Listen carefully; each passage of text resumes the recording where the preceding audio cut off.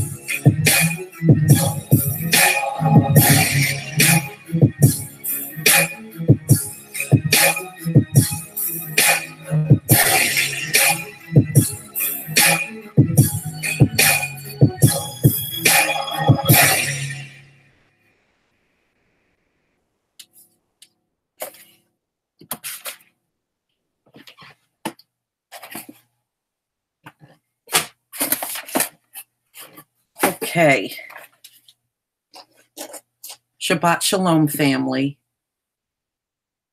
Now that we are done with that, we're going to get to what we're going to go over today.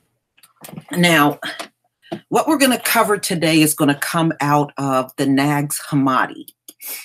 And if you don't have it, please don't worry about that.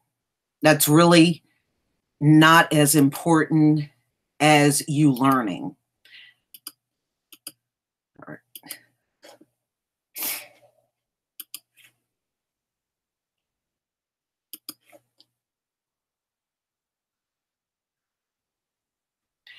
All right, so those of you that have Nags Hammadi, Shabbat Shalom to everybody entering the chat.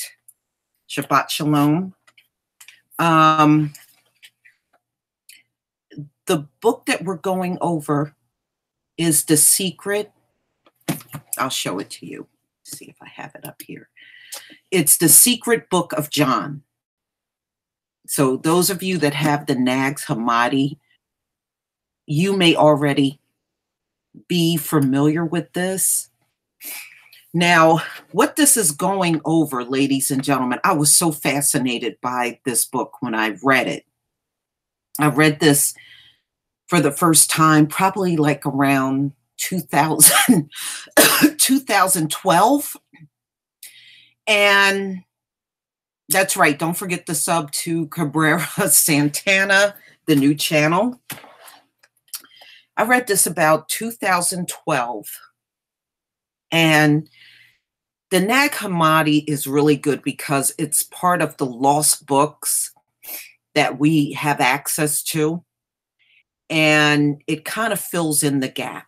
Now, you're going to hear some of you that are not familiar with this, you're going to hear names that you never ever heard before. One is Barbelo. Barbelo is what you call an Aeon, which is a good spirit. She's like the feminine side, a feminine spirit from the Most High. Now, one of the things he did for each one of these female spirits, he allowed them to make a request to him of anything that they wanted. Now, the one thing that she asked for was to be in, indestructible. She can never, ever be destroyed. And he actually gave it to her. So she is uh, one of the spirits that's responsible for the forethought. Now, there is another spirit that was once high, and that was Sophia. Sophia kind of fell out of grace because what she did, she tried to ditch the Most High and do things all on her own. And for that, she kind of lost her top spot, but he still took her back. Now, Sophia is responsible for the afterthoughts that you have. So you're going to hear about Barbelo and Sophia, and you're going to hear about a whole bunch of angels. Now, when the Most High put Adam together, he did make him from the dust of the earth, but Adam had to literally be assembled. So, what he did was he put together a team of angels and some demons. Now, I know you may say, why would the Most High use demons in putting Adam together? Because they had some traits that he wanted Adam to possess. Things like pleasure, that actually comes from demons envy, jealousy, fear, those are things that come from demons. So he wanted Adam to possess both good and traits also that came from demons. So it is crazy, but when you hear it, it is the most fascinating thing you ever want to hear. And you're going to hear about all of these different angels that came forward. Remember, he's got a whole army of angels. So there's going to be angel names you never ever heard before. But these are all the Most High sons.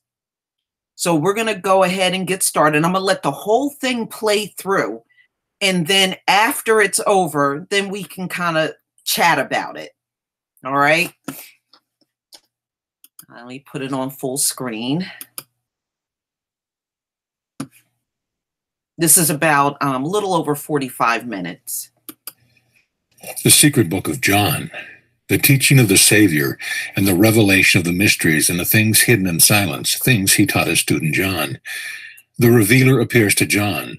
One day, when John, the brother of James, the sons of Zebedee, went up to the temple, it happened that a Pharisee named Arimaeus came up to him and said to them, Where is your teacher whom you followed? John said to him, He has returned to the place from which he came. The Pharisee said to him, This Nazarene has deceived you badly, filled your ears with lies, closed your minds, and turned you from the tradition of your parents. When I, John, heard this, I turned away from the temple and went to the mountainous and barren place. I was distressed within, and I said, How was the Savior selected? Why was he sent into the world by his Father? Who is his Father who sent him? To what kind of eternal realm shall we go? And what was he saying when he told us this eternal realm to which you'll go is modeled after the incorruptible realm? But he did not teach us what kind of realm that one is. At the moment I was thinking about this, look, the heavens opened, all creation under heaven lit up, and the world shook. I was afraid, and look, I saw within the light a child standing by me. As I was staring, it seemed to be an elderly person. Again, it changed in appearance to be a youth. Not that there were several figures before me, rather, there was a figure with several forms within the light. These forms appeared through each other, and the figure had three forms.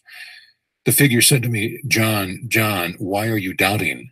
Why are you afraid? Are you not familiar with this figure? Then do not be faint hearted. I am with you always. I am the Father. I am the Mother. I am the child. I am the incorruptible and the undefiled one. Now I have come to teach you what is, what was, and what is to come, that you may understand what is invisible and what is visible, and to teach you about the unshakable race of perfect humankind. So now lift up your head that you may understand the things I shall teach you today, and that you may relate them to your spiritual friends, who are from the unshakable race of perfect humankind. The one, I asked if I might understand this, and it said to me, the One is a sovereign that has nothing over it. It is God and Father of all, the invisible one that is over all, that is incorruptible, that is pure light of which no eye can gaze. The One is the invisible Spirit. We should not think of it as God or like a God, for it is greater than a God, because it has nothing over it and no Lord above it. It does not exist within anything inferior to it, since everything exists within it alone. It is eternal, since it does not need anything, for it is absolutely complete. It was never lacked anything in order to be completed by it. Rather, it is always absolutely complete in light. The one is illimitable, since there is nothing before it to limit it. Unfathomable, since there is nothing before to fathom it. Immeasurable, since there was nothing before it to measure it invisible, since nothing has seen it, eternal, since it exists eternally, unutterable, since nothing could comprehend it to utter it, unnameable, since there is nothing before it to give it a name. The one is the immeasurable light, pure, holy, immaculate. The one is unutterable and is perfect in incorruptibility. Not that it is a part of perfection or blessedness or divinity, it is much greater. The one is not corporeal and is not incorporeal. The one is not large and is not small. It is impossible to say, how much is it? What kind is it? For no one can understand it. The one is not among the things that exist, but is much greater. Not that it is greater, rather as it is in itself. It is not a part of the eternal realms or of time, for whatever is part of a realm was once prepared by another. Time was not allotted to it, since it receives nothing from anyone. What would be received would be on loan. The one who is first does not need to receive anything from another. Such a one beholds itself in its light. The one is majestic and has an immeasurable purity. The one is a realm that gives a realm, life that gives life, a blessed one that gives blessedness, knowledge that gives knowledge, a good one that gives goodness, mercy that gives mercy and redemption, grace that gives grace. Not as if the one possesses all of this, rather, it is the one gives immeasurable and incomprehensible light. What shall I tell you about it? Its eternal realm is incorruptible, at peace, dwelling in silence, at rest before everything. It is the head of all realms, and it sustains them through its goodness. We would not know what is ineffable. We would not understand what is immeasurable, were it not for what has come from the Father. This is the one who has told these things to us alone. Barbelo appears. Now, this Father is the one who beholds himself in the light surrounding him, which is a spring of living water and provides all the realms. He reflects on his image everywhere, sees it in the spring of the Spirit, and becomes enamored of his luminous water, for his image is in the spring of pure luminous water surrounding him. The Father's thought became a reality, and she who appeared in the presence of the Father in shining light came forth. She is the first power who preceded everything and came forth from the Father's mind as a forethought of all. Her light shines like the Father's light. She, the perfect power, is the image of the perfect and invisible Virgin Spirit. She, the first power, the glory of Barbelo, the perfect glory among the realms, the glory of revelation. She glorified and praised the Virgin Spirit, for because of this, the Spirit she had come forth. She is the first thought, the image of the Spirit. She became the universal womb, for she proceeds everything. The Mother Father, the first human, the Holy Spirit, the triple male, the triple power, the androgynous one with three names, the eternal realm among the invisible beings, the first to come forth. Barbelo asked the invisible Virgin Spirit to give her foreknowledge, and the Spirit consented. When the Spirit consented, foreknowledge appeared and stood by forethought. This is the one who came from the thought of the invisible Virgin Spirit. Foreknowledge glorified the Spirit and the Spirit's perfect power, Barbelo, for because of her foreknowledge had come into being. She asked again to be given incorruptibility, and the Spirit consented. When the Spirit consented, incorruptibility appeared and stood by thought and foreknowledge.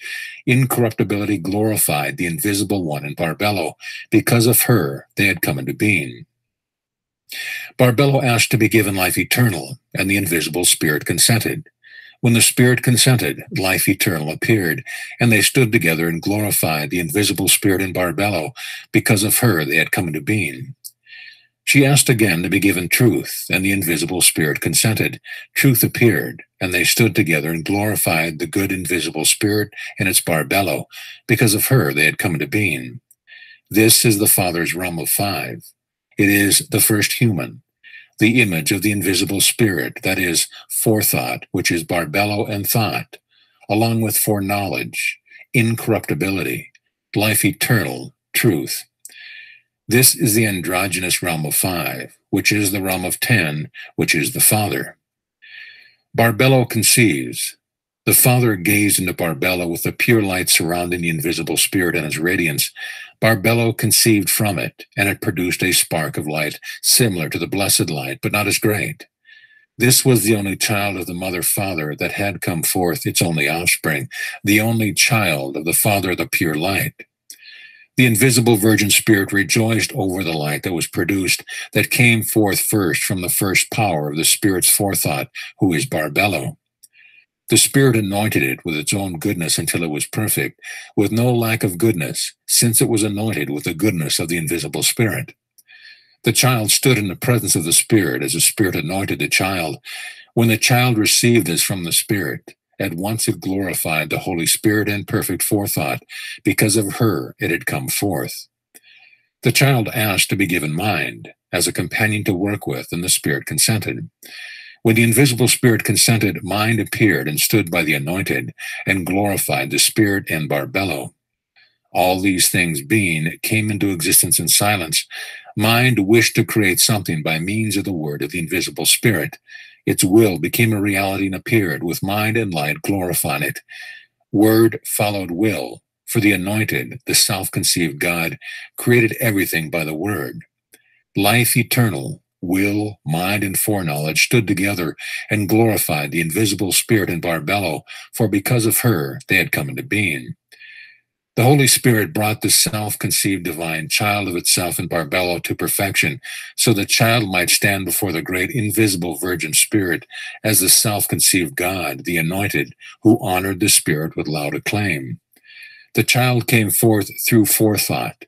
The invisible Virgin Spirit set the true self conceived God over everything and caused all authority and the truth within to be subject to it, so the child might understand everything the one called by name greater than every name, for that name will be told to those who are worthy of it. The four luminaries, now from the light, which is the anointed, and from incorruptibility by the grace of the Spirit, the four luminaries that derive from the self conceived God gazed out in order to stand before it. The three beings are will, thought, life. The four powers are understanding, grace, perception, thoughtfulness. Grace dwells in the eternal realm of the luminary Harmozel, who is the first angel. There are three other realms with this eternal realm grace, truth, form. The second luminary is Oriel, who has been appointed over the second eternal realm. There are three other realms with it afterthought, perception, memory. The third luminary is Daveithai, who has been appointed over the third eternal realm. There are three other realms with it understanding, love, idea. The fourth eternal realm has been set up for the fourth luminary, Aleth. These are three other realms with it perfection, peace, Sophia. These are the four luminaries that stand before the self conceived God. These are the 12 eternal realms that stand before the child of the great self conceived, the anointed, by the will and grace of the invisible Spirit.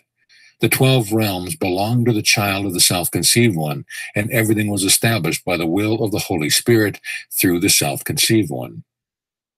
Geradamas and Seth.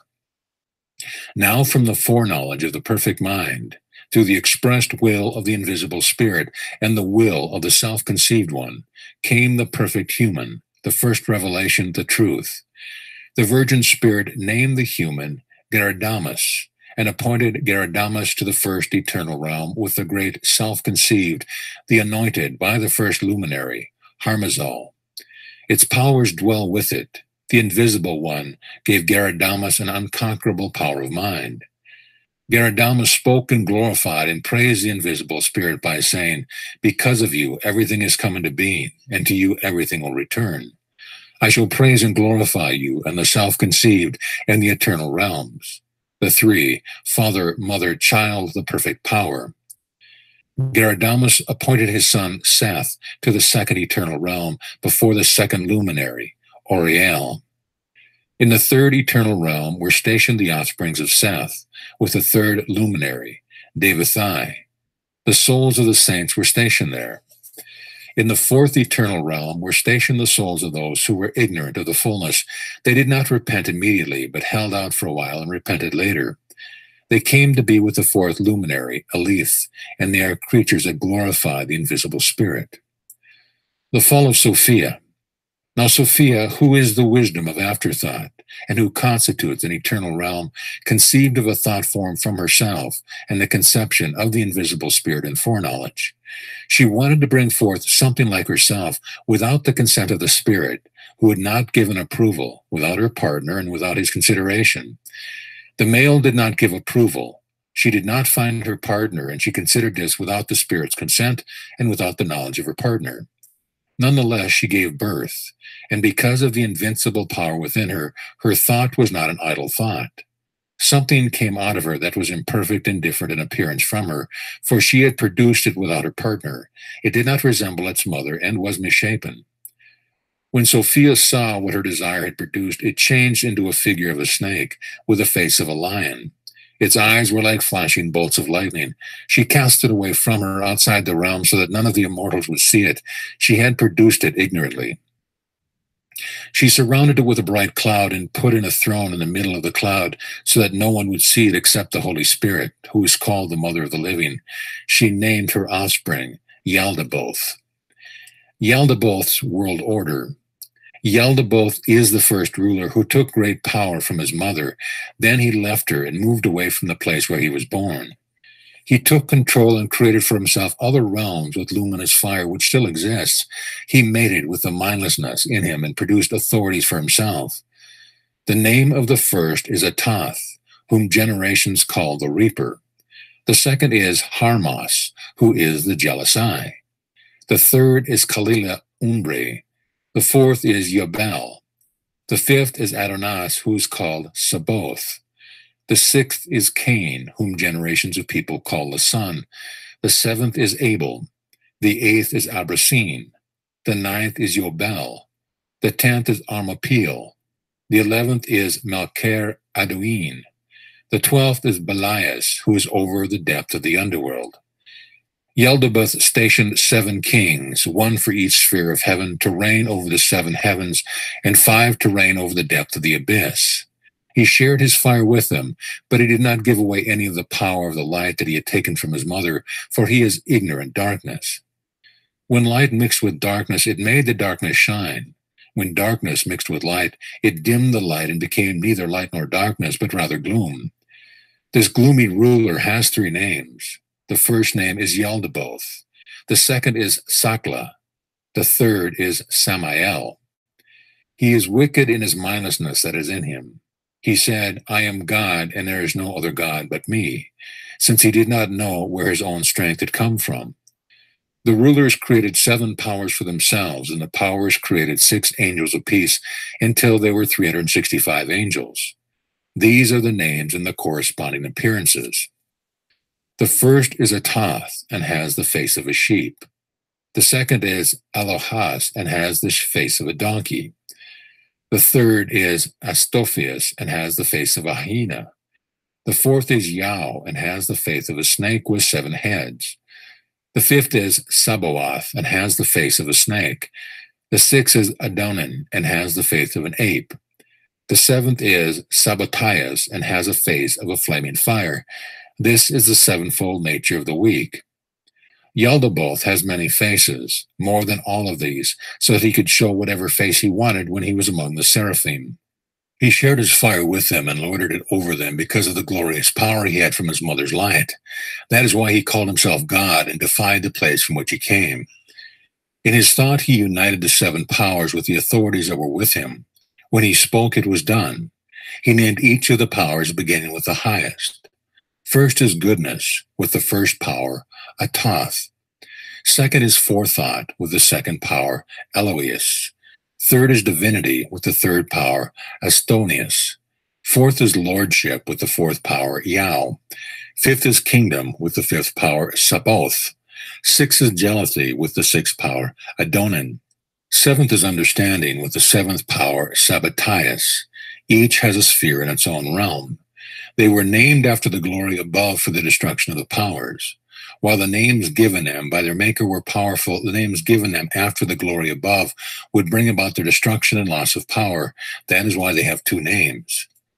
Yaldabaoth organized everything after the patterns of the first realms that had come into being, so that he might create everything in an incorruptible form. Not that he had seen the incorruptible ones, rather the power that is in him, that he had taken from his mother, produced in him the pattern for the world order.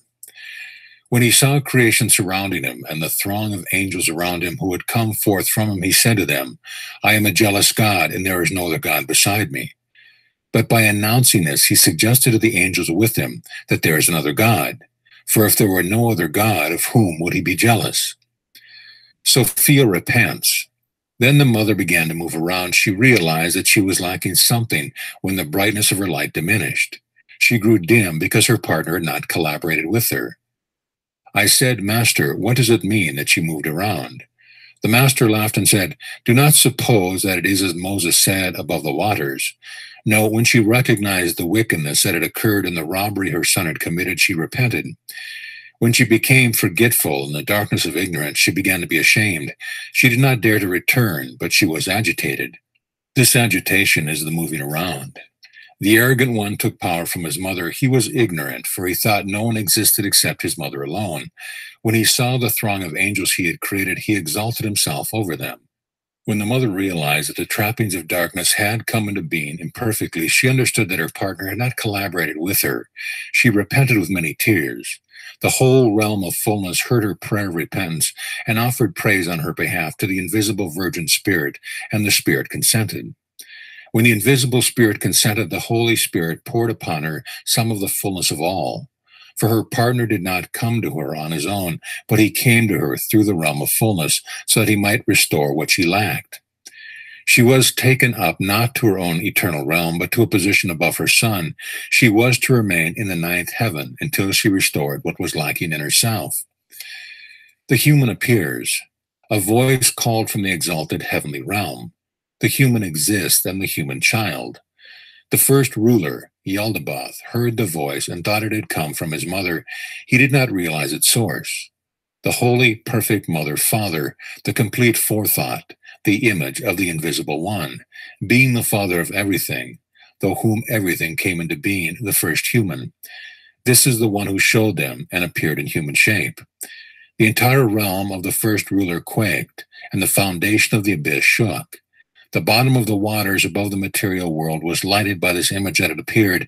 When all the authorities and the first ruler stared at his appearance, they saw the whole bottom as it was illumined, and through the light they saw the shape of the image in the water.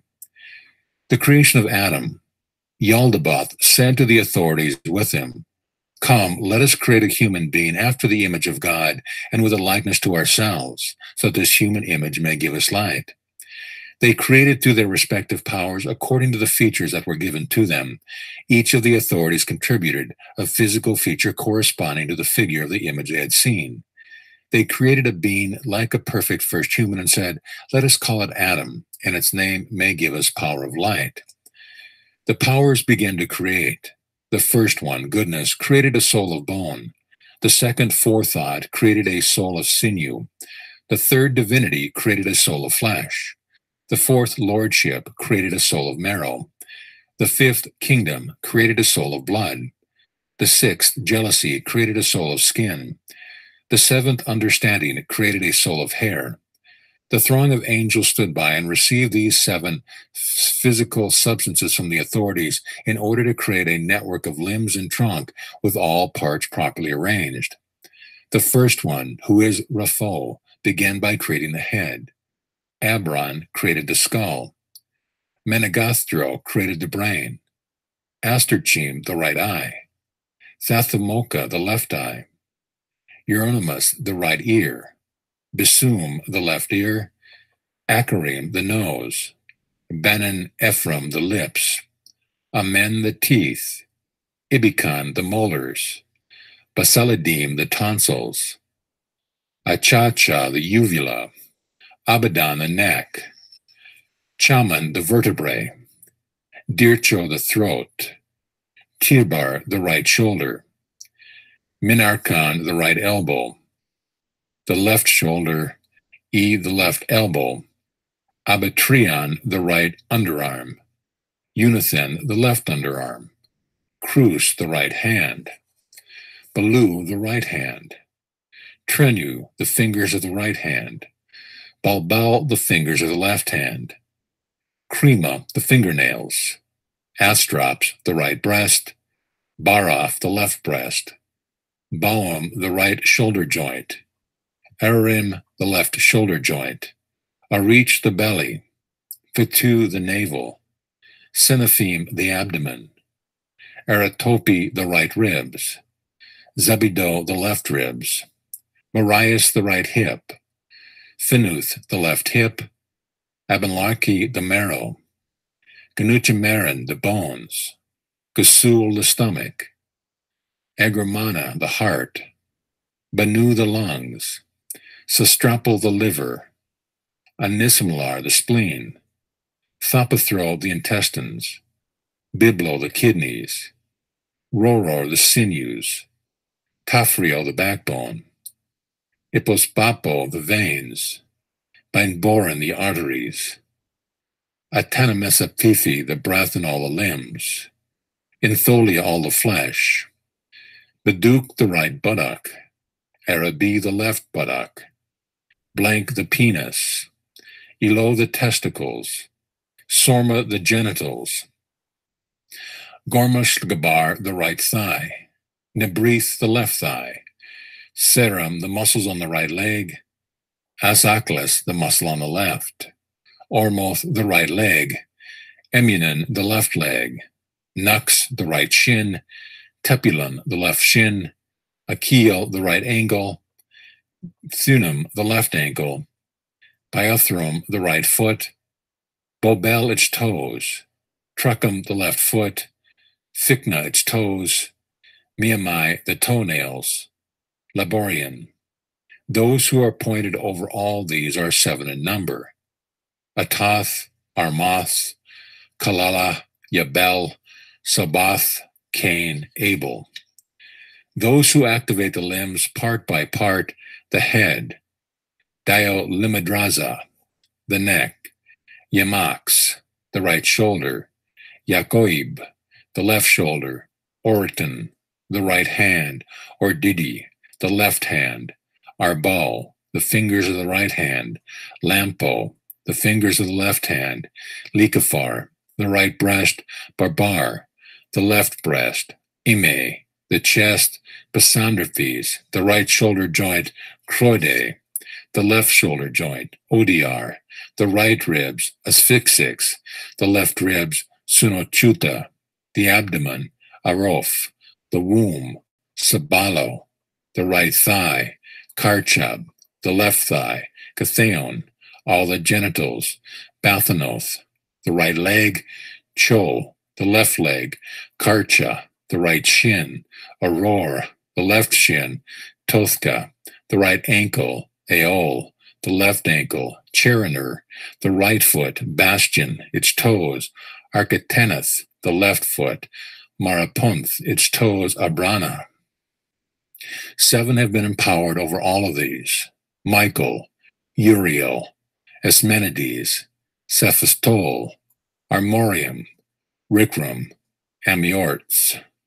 Those who are over the senses are Arkadenka, the one who is over perception, is Dithabarkus, the one who's over imagination, is Onma, the one who's over arrangement, is Akim, the one who's over impulse to action, is Riarmanacho. The source of the demons that are in the entire body is divided into four heat, cold, wetness, dryness. The mother of them all is matter. The one who is Lord over heat is Plaxifa. The one who is Lord over cold is Orophus. The one who is Lord over what is dry is Iramacho. The one who is Lord over wetness is Athuro. The mother of these, Onathorcris, stands in the midst of them, for she is unlimited and mingles with them all. She is matter, and by her they are nourished.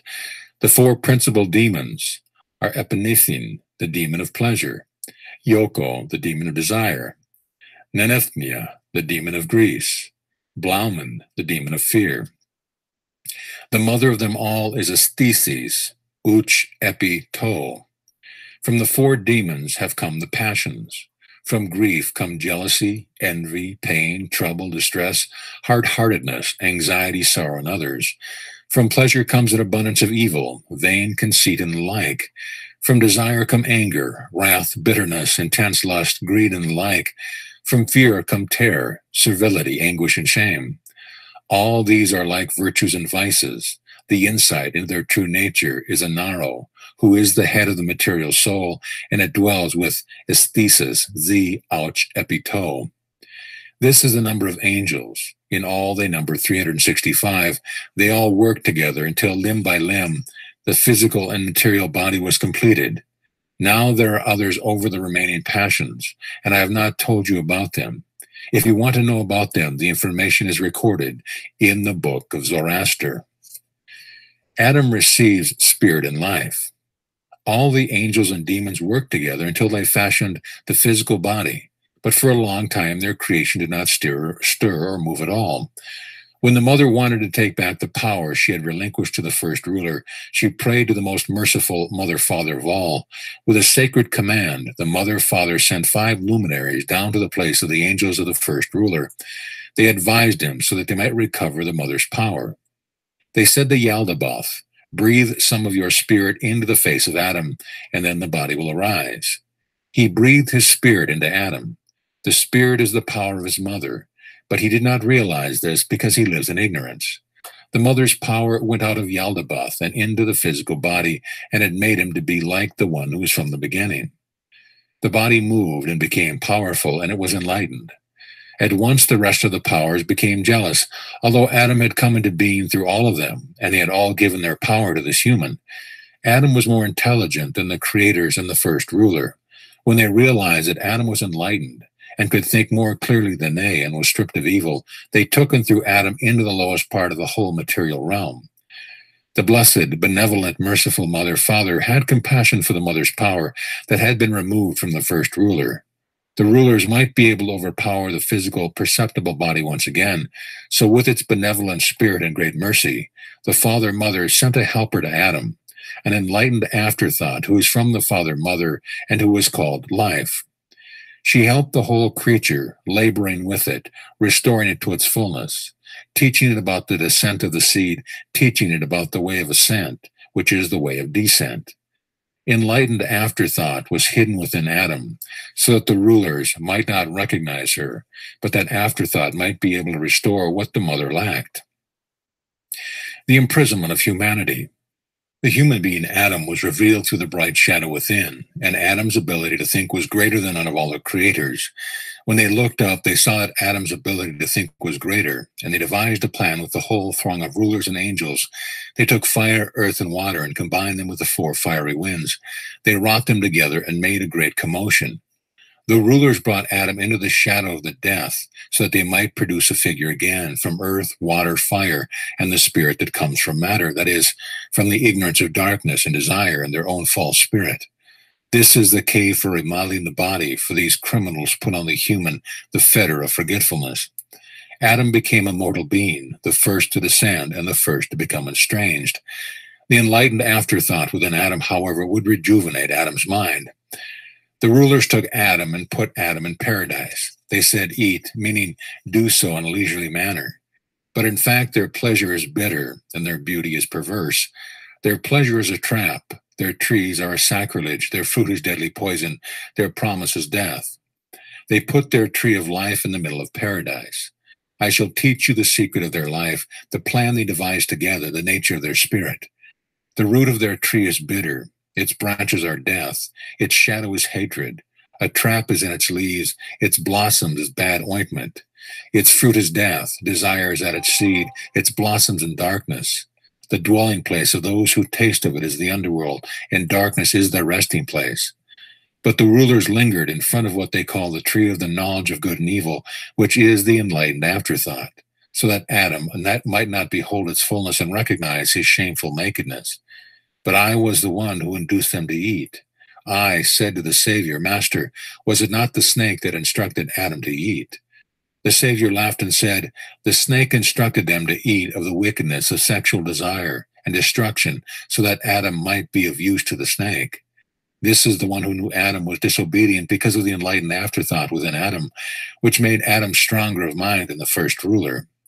The first ruler wanted to recover the power that he himself had passed on to Adam, so he brought deep sleep upon Adam.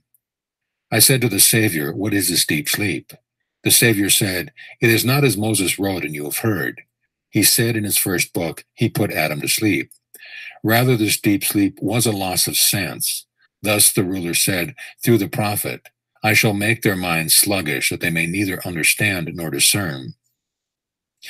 The creation of Eve, enlightened afterthought, hid herself within Adam. The first ruler wanted to take her from Adam's side, but enlightened afterthought cannot be apprehended. While darkness pursued her, it did not apprehend her. The first ruler removed part of Adam's power and created another figure in the form of a female. Like the image of afterthought that had appeared to him, he put the part he had taken from the power of the human being into a female creature. It did not happen, however, the way Moses said Adam's rib. Adam saw the woman beside him. At once enlightened afterthought appeared and removed the veil that covered his mind. He sobered up from the drunkenness of darkness. He recognized his counterpart and said, This is now bone for my bone and flesh for my flesh. For this reason, a man will leave his father and his mother and will join himself to his wife, and the two of them will become one flesh. For his partner will be sent to him, and he will leave his father and his mother. Our sister Sophia is the one who descended in an innocent manner to restore what she lacked. For this reason, she was called life, that is, the mother of the living, by the forethought of the sovereignty of heaven and by the afterthought that appeared to Adam. Through her have the living tasted perfect knowledge, as for me, I appeared in the form of an eagle, and on the tree of knowledge, which is the afterthought of the pure enlightened forethought, that I might teach the human beings and awaken them from the depth of sleep. For the two of them were fallen and realized that they were naked. Afterthought appeared to them as light and awakened their minds. Yaldabaoth defiles Eve. When Yaldabaoth realized that the humans had withdrawn from him, he cursed his earth. He found the woman as she was preparing himself for her husband. He was master over her, and he did not know the mastery that he had come into being through the sacred plan. The two of them were afraid to denounce Yaldabaoth. He displayed to his angels the ignorance within him. He threw the humans out of paradise and cloaked them in thick darkness.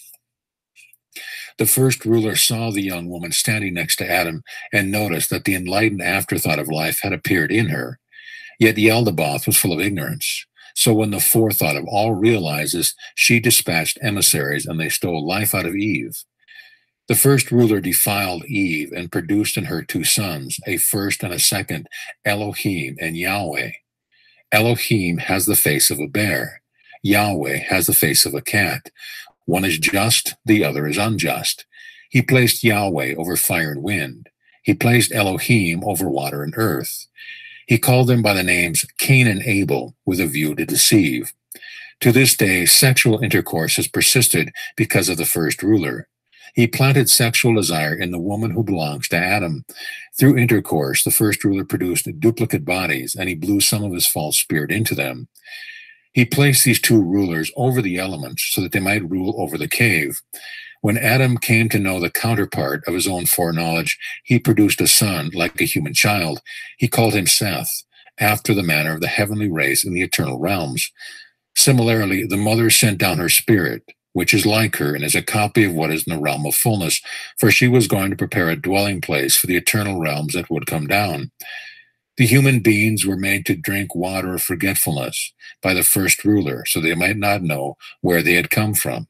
For a time the seed remained and helped, so that when the Spirit descends from the holy realm, it may raise up the seed and heal what it lacks, that the entire realm of fullness may be holy and lack nothing. On human destiny, I said to the Savior, Master, will all the souls then be led safely into pure light? He answered and said to me, these are great matters that have arisen in your mind, and it is difficult to explain them to anyone except those of the unshakable race. Those upon whom the Spirit of life will descend, and whom the Spirit will empower, will be saved, and become perfect and be worthy of greatness, and be cleansed there of all evil and the anxieties of wickedness, since they are anxious for nothing except the incorruptible alone, and concerned that from this moment on, without anger, jealousy, envy, desire, or greed for anything, they are affected by nothing but being in the flesh alone, and they wear the flesh as they look forward to a time when they will be met by those who receive them. Such people are worthy of the incorruptible eternal life and calling. They endure everything and bear everything so as to finish the contest and receive eternal life. I said to him, Master, will the souls of people be rejected who have not done these things, but upon whom the power and the spirit of life have descended? He answered and said to me, If the Spirit descends upon them, by all means they will be saved and transformed. Power will descend upon every person, for without it no one can stand. After birth, if the spirit of life grows and power comes and strengthens that soul, no one will be able to lead it astray with evil actions. But people upon whom the false spirit descends are misled by it and go astray. I said, Master, where will their souls go when they leave their flesh? He laughed and said to me, The soul in which there is more power than the contemplative spirit is strong. She escapes from evil, and through the intervention of the incorruptible one, she is saved and taken up to eternal rest. I said, Master, where will the soul go of people who have not known to whom they belong? He said to me, The contemptible spirit has grown stronger in such people while they were going astray. This spirit lays a heavy burden on the soul, leads her into evil, and hurls her down into forgetfulness. And the soul leaves the body. She is handed over to the authorities who have come into being through the ruler. They bind her with chains and throw her into prison. They go around with her until she awakens from forgetfulness and acquires knowledge. This is how she attains perfection and is saved. I said, Master, how can the soul become younger and return into its mother's womb or into the human? He was glad when I asked him about this, and he said to me, You are truly blessed, for you have understood. This soul will be made to follow another in whom the spirit of life dwells, and she is saved through that one. Then she will not be thrust into flesh again. I said, Master, where will the soul go of people who had the knowledge but turned away? He said to me, They will be taken to a place where the angels of misery go, where there is no repentance. They will be kept there until the day when those who have been blasphemed against the Spirit will be tortured and punished eternally. I said, Master, where did the contemptible spirit come from? He said to me, The Mother Father is great in mercy, the Holy Spirit, in whom every way is compassionate, who sympathizes with you the afterthought of enlightened forethought. This one raised up the offspring of the perfect generation and raised their thought in the eternal light of the human. When the first ruler realized that these people were exalted above him and could think better than he, he wanted to grasp their thought. He did not know what they surpassed him in thought and that he would be unable to grasp them. He devised a plan with his authorities, who are his powers. Together they fornicated with Sophia, and through him was produced bitter fate the final fickle bondage. Fate is like this because the powers are fickle. To the present day, fate is harder and stronger than what gods, angels, demons, and all the generations have encountered. For from fate have come all inequity and injustice and blasphemy, the bondage of forgetfulness and ignorance, and all burdensome orders, weighty sins, and great fears. Thus all of creation has been binded, so that none might know that God is over them all. Because of the bondage of forgetfulness, their sins have been hidden. They have been bound with dimensions, times, and seasons, and fate is master of all. The first ruler regretted everything that had happened through him. Once again, he made a plan to bring a flood upon the human creation. The enlightened greatness of forethought, however, warned Noah. Noah announced this to all the offspring, the human children, but those who were strangers to him did not listen to him. It did not happen the way Moses said. They hid in an ark. Rather, they hid in a particular place, not only Noah, but also many other people from the unshakable race. They entered that place and hid in a bright cloud. Noah knew about his supremacy. With him was the enlightened one who had enlightened them, since the first ruler had brought darkness upon the whole earth. The first ruler formulated a plan with his powers. He sent his angels to the human daughters so they might take some of them and raise offspring for their pleasure. At first, they were unsuccessful. When they had proved unsuccessful, they met again and devised another plan. They created a contemptible spirit similar to the spirit that had descended in order to adulterate souls through this spirit. The angels changed their appearance to look like the partners of these women and filled the women with the spirit of darkness that they had concocted and with evil. They brought gold, silver, gifts, copper, iron, metal, and all sorts of things. They brought great anxieties to the people who followed them, leading them astray with many deceptions. These people grew old without experiencing pleasure and died without finding truth or knowing the God of truth. In this way, all creation was forever enslaved from the beginning of the world until the present day. The angels took women, and from the darkness they produced children similar to their spirit. They closed their minds and became stubborn through the stubbornness of the contemplated spirit until the present day. Hymn of the Savior. Now I, the perfect forethought of all, transformed myself into my offspring. I existed first and went down every path. I am the abundance of light. I am the remembrance of fullness. I went into the realm of great darkness and continued until I entered the midst of the prison. The foundations of chaos shook, and I hid from them because of their evil, and they did not recognize me. Again I returned a second time and went on. I had come from the inhabitants of light, I the remembrance of forethought. I entered the midst of darkness in the bowels of the underworld, turning to my task. The foundations of chaos shook as though to fall upon those who dwell in chaos and destroy them. Again, I hurried back to the root of my light, so they might not be destroyed before their time. Again, a third time, I went forth. I am the light dwelling in light. I am the remembrance of forethought, so that I might enter the mist of darkness in the bowels of the underworld. I brightened my face with light for the consummation of their realm and entered the midst of their prison, which is the prison of the body. I said, Let whoever hear arise from deep sleep. A person wept and shed tears. Bitter tears the person wiped away and said, Who is calling my name? From where has my hope come as I dwell in the bondage of prison? I said, I am the forethought of pure light. I am the thought of the Virgin Spirit who raises you to a place of honor. Arise, remember that you have heard and trace your root, which is I, the compassionate. Guard yourself against the angels of misery, the demons of chaos, and all who entrap you, and beware of deep sleep and the trap in the bowels of the underworld.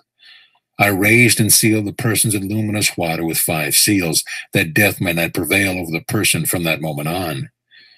Conclusion Look, now I shall ascend to the perfect realm. I have finished everything for you in your hearing. I have told you everything for you to record and communicate secretly to your spiritual friends. This is the mystery of the unshakable race. The Savior communicated this to John for him to record and safeguard. He said to him, Cursed be anyone who will trade these things for a gift, for food, drink, clothes, or anything like this. These things were communicated to John in mystery, and at once the Savior disappeared. Then John went to the other students and reported what the Savior had told him. Jesus, the Anointed. Amen. This is the end of the secret book of John.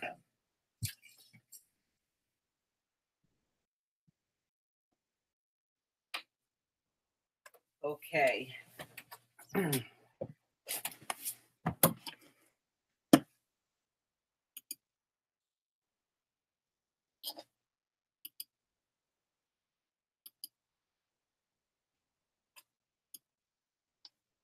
Okay, so what these books do, it just kind of fill in the gaps that may not be in the Bible. And unfortunately, our enemies, you know, the Vatican, have a lot of books. Now, many of the books that we had kind of interconnected, where one left off, the other one picked up. And a lot of those books were destroyed. We have a lot of books that are being held at the Vatican. They decide what we get to see and what we don't see, which is really messed up. But you know, for now, we just have to make do with the text that we do have. So it's not like we can't learn nothing. We still have the ability to learn. Now, these books you're not going to learn in any church. A church simply will not teach anything like this.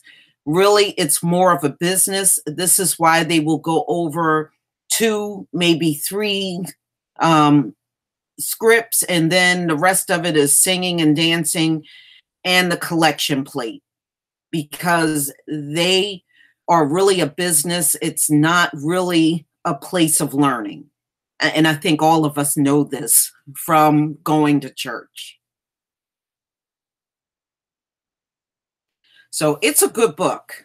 It's a good book. And there's a lot more in here that, you know, we can learn over the next couple of weeks. Absolutely. so what I'm going to do is I'm going to um, post the link. Anybody that wants to join the panel, you can. Let me just get that link.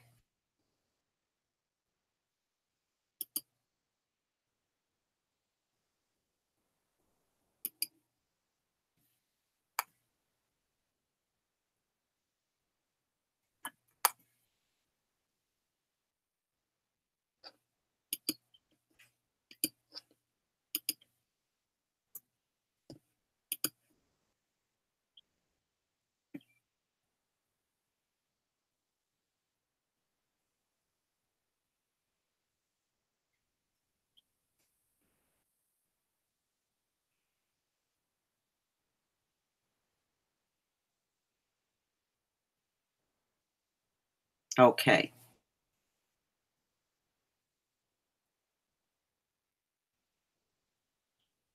Yeah, you're right. They sure did when they became 501c. That is so true. Oh, thank you, um, Whole Armor. Yeah, I hope you enjoyed the app. Yeah, it, it's really a business. It's it's not really a learning institution. It really should be, but it's not.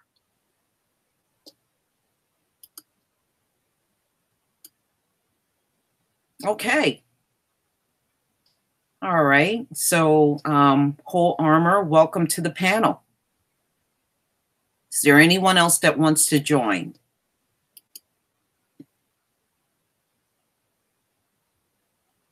Let me know if you have a problem with the link working.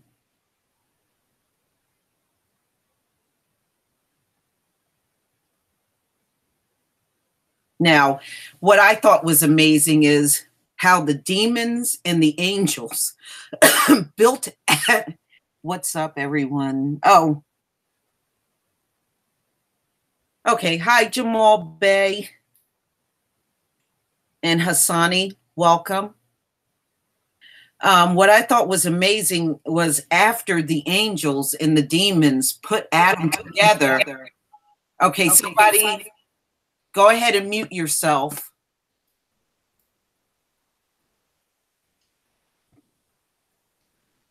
Okay, hi True Royal. How you doing? I'm trying to mute myself. Excuse me for that. Okay, no problem. It I usually come in, I usually come in mute. Okay, no, no, you're fine. Now, what I thought was amazing in the whole story was when the angels and demons got finished putting Adam together and they realized he was smarter and stronger than they were. So they grew jealous of him. And what they did was they would start trying to do things to sabotage Adam out of jealousy. And the reason why they grew jealous was because the Most High gave him dominion over this entire planet. And they felt, well, wait a minute, we put him together. He, you know, if it wasn't for us putting him together, he wouldn't be here. We should have dominion over the planet. Well, that's not the way the Most High wanted it. He wanted the man that he made in his own image to have dominion over the earth. And they did not like that.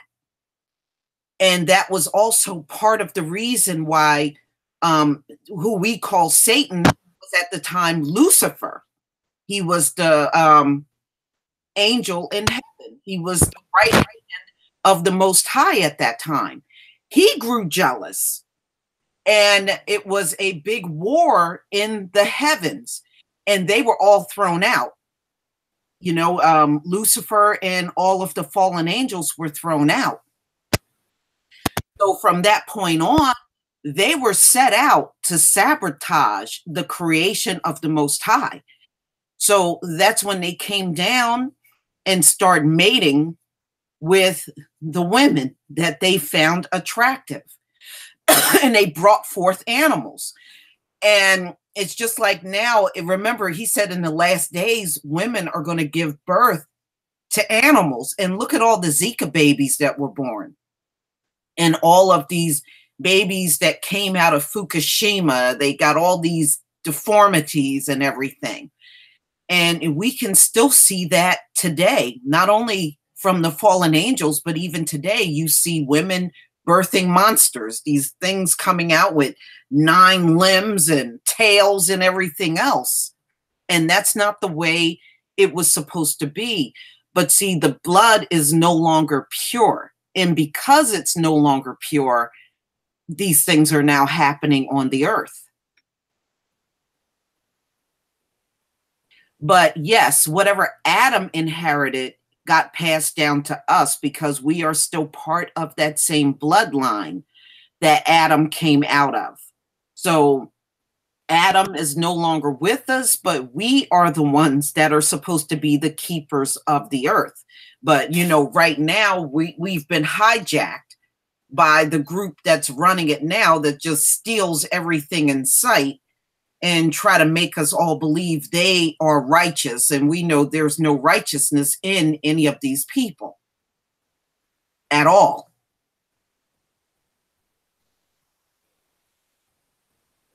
So I like how he spoke about the female the female spirits that are there and these female spirits just came about just from the thought of the Most High. He brought forth these female spirits. And Sophia at one time was the highest female spirit, but she fell out of favor because she started trying to do everything herself without the Most High.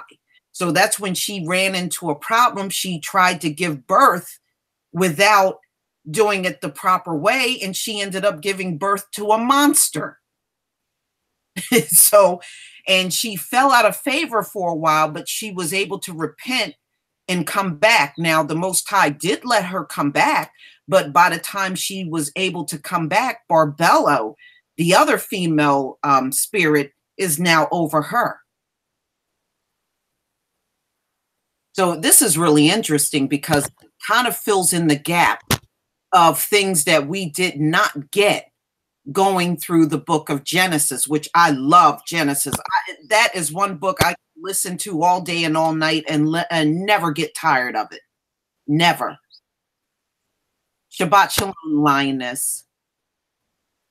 I'm going to post a link. Anybody else that wants to join the panel, please do. So, those of you that are on the panel, um, whole armor. What do you think from what?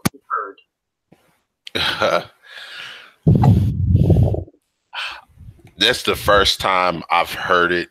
Really? That yeah, that that that deep before. So mm-hmm. I really couldn't um expound on it. I have to like read more up oh, more of it.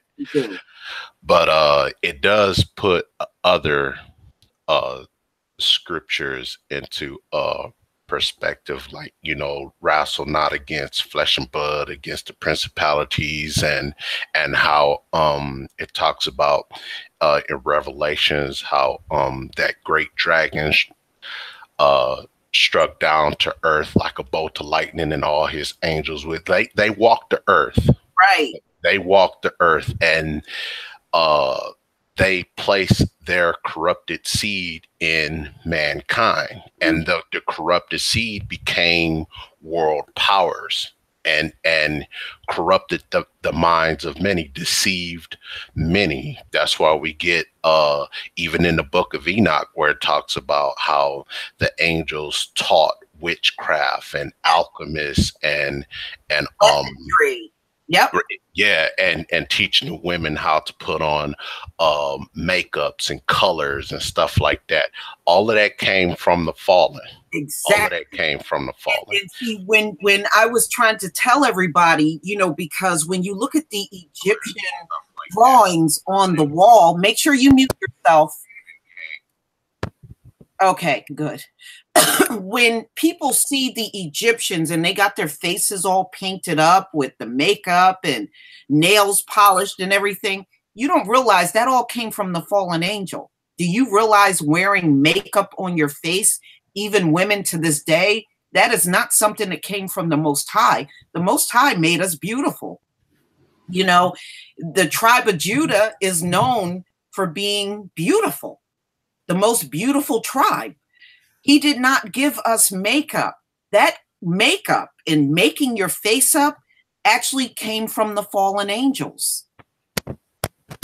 Exactly right. Even until this very day, uh, you can look back into the uh, ancient tribes of Africa where they still wear uh, paints on their face, and, and, then that trickled over into the uh, the Western world. But that was the uh, the source of that was mm-hmm. from the, the the ancients implementing that into the world yes. and and various other things like even even weaponry and yeah. war yes and gunpowder and stuff that that wasn't anything that that civilized indigenous people was doing that was the corruption of the other entities implementing that into the minds of men that is very true and the book of enoch really goes into detail about that Okay, um, True Royal.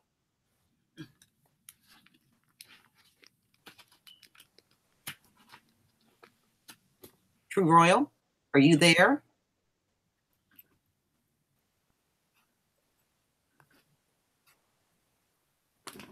Yes, I'm here. Oh, um, okay. I, am here. Um, I, will let the other brother talk because I'm always running my mouth. No, I, no, no, no, no, no. I just wanted to ask you a few questions. Oh yeah, go ahead. What did you think from what you heard? Oh, it was it was powerful. It was powerful, and um, my husband was able to listen um to it as well, and um, I had heard you um briefly mention that um about um Adam was um, put together by these angels, but I never heard it in detail.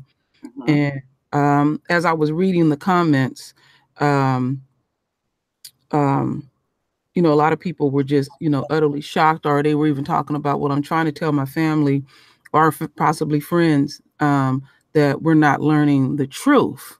And my husband's been going to church off and on, and I noticed that every single time he come home, he pissed. Mm-hmm. And um, thank goodness he doesn't, you know, have a resentment because I don't go go anymore. And um, what I'm trying to say to folks is that if you are concerned about family and friends, um, do like possibly like I do. I'll play. I'll I'll be listening to the Hebrew Israelite brothers and sisters, and I notice he never rejected. He'll listen to it. He'll even ask questions about it. Mm-hmm. I bought the I bought the book of Eden, and um, I looked up one day, and the book was gone, and it was upstairs. So I left it up there. I left it up there because uh-huh to just proselytize and push stuff on people. Don't do that. Just keep you keep seeking on your own and um, just lay the material around. If a person is earnestly also on their own journey, they're gonna they're gonna reach out to it.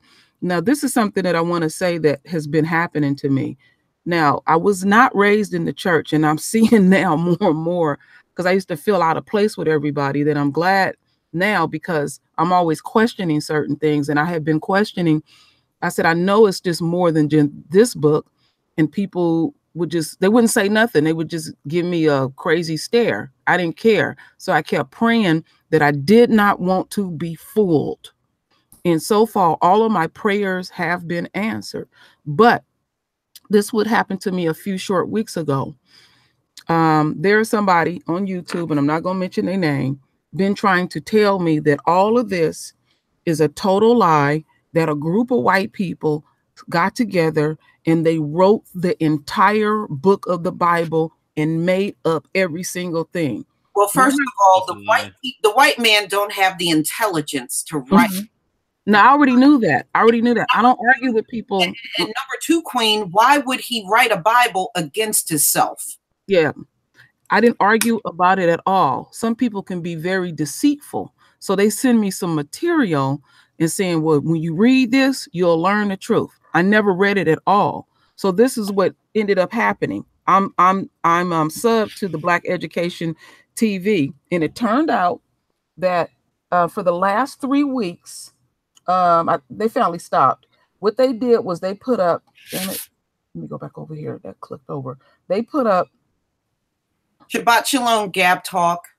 They put up. They put up. Shalom, shalom.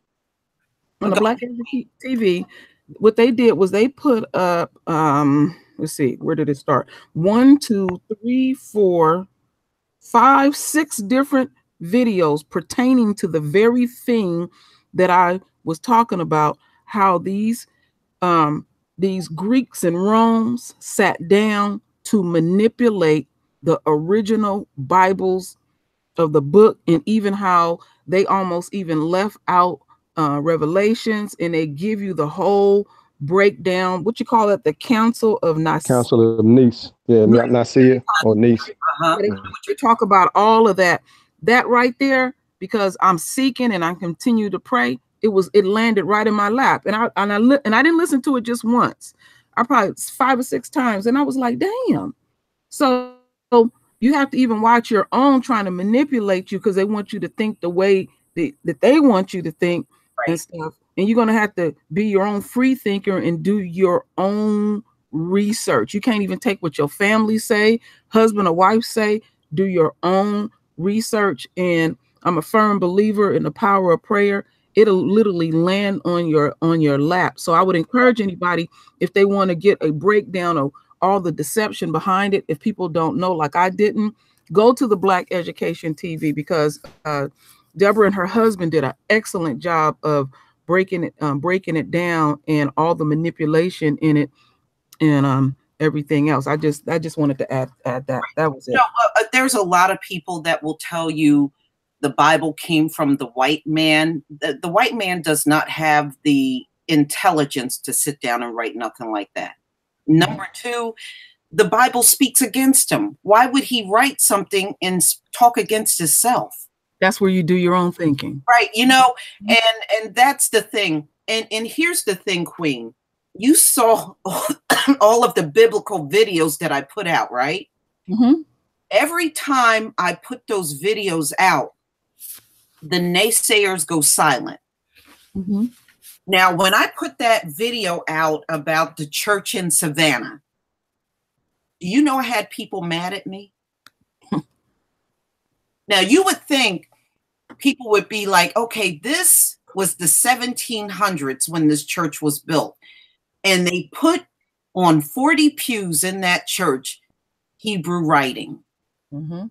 do you know there are still people saying that nah we ain't no damn hebrews. That that nah that's fake. I, I, how do you know what that says and all you know it's, it's always something they want to go to to Mhm. refute what's being shown. But i'm finding each time when they do that they're looking more and more silly. Now Yeah.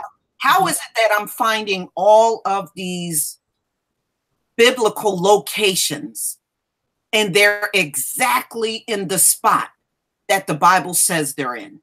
Mhm. you know? And i'm finding all kinds of things that ties right back to us. Those you know many of those cities that i'm showing you those are where our forefathers lived. Mhm. those are the exact cities they lived in they worship there. The old ancient synagogues are still in the locations the whole nine yards you know. But i will still have people say i did the research and it ain't real. True. I- I No, just don't know what to make of that.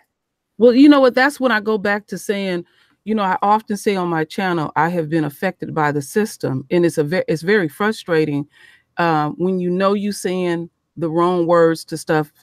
Um, and I will also say I don't um, speak in the absolutes, and I think some people haven't came to terms with themselves that they have been affected by the system and don't even realize that they are thinking like the enemy. That's how we've been in their schools, Right. and they they have shaped us in such a way where um, we're thinking like them and like them. And I was even telling my husband um, um, about an hour ago. I said even in the direction that we read, they deliberately started because we we read from um, we lead, we read from right um, Left to right.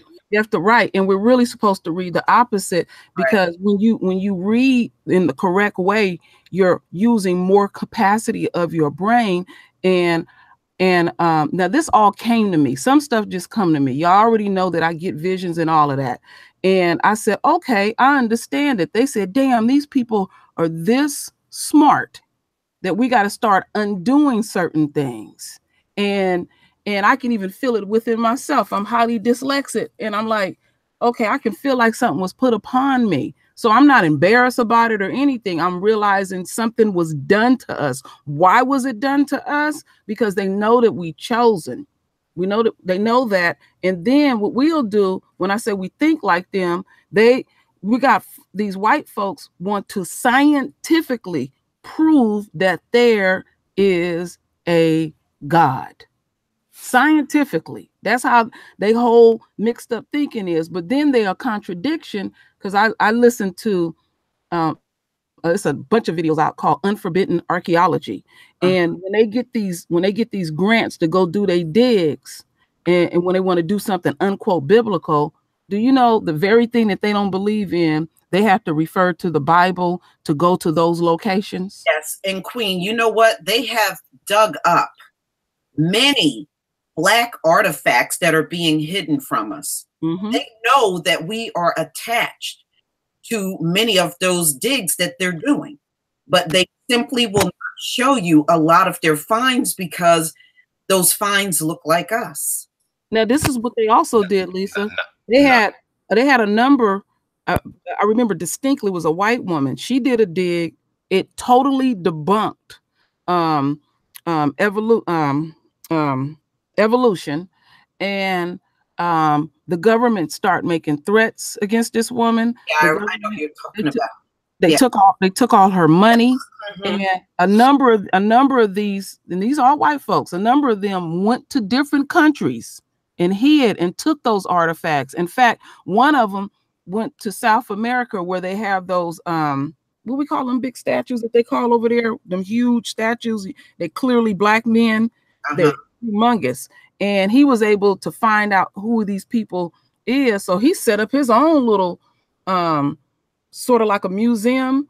Um and and um he can never come back to this country because they want us to think the way they want us to think. And some of our own want to think that way. I would not drive myself crazy trying to force it down their throat because you got to stay on your journey. Uh, The one thing that my husband said to me, and he was right he said you got to save yourself first at the end of the day. At Yep. the end of the day. What were you going to say? Whole armor? I was going to uh, add um, not just the uh, the archaeological finds, but that rabbit hole goes a whole lot deeper than that. Mhm. You know, um, you have our classical music. You know, our ancient classical music, even our our artwork. You know, a lot of lot of lot of our culture has something to do with our music and our artwork. They also taken all of that you know and not even just the uh the archaeological finds and digs but what about cave systems that have been dug by our ancients Oh, yeah. already There's a lot of aqueducts right are now finding right that are underneath the ground. You know, and there's a whole water system there. right i was uh i caught a youtube video uh where they had discovered several cave systems right here in the us one that i know of in, in uh illinois that was uh, dug out and excavated by ancient black people where they were finding tablets and uh, pottery with our ancient writings on it right here in the US. Oh, yeah. You know, many of the places are still named after the Bible. You know, Moab is in Utah. And you have Mount Ephraim and mm-hmm. all these places are still here. And a lot of people don't realize it's the same place they're talking about in the Bible. And, you know, they tried to rename all of these places and they just simply got tired of doing it and just left the names there. Right. But my, my, my point. I can still find a lot of the ancient towns, I can still locate them. And this is why I try to do my presentations to show you these places are still standing on this earth. Uh, Hassani, were you going to say something? Yeah, actually, I was looking for a, a, article that I wrote on Quora to to prove that our people are who we say that they are, and I'm gonna post it inside the comment section just in case you guys want to read it. I highly suggest it's read. Okay, I would definitely read it. All the proof is right there. I'm telling you. Oh, I know. Uh, you know what, um, brother? All we have been doing for years is presenting truth. And it, it just seems like some people just already got their minds made up. that They don't want to believe it no matter what you present to them.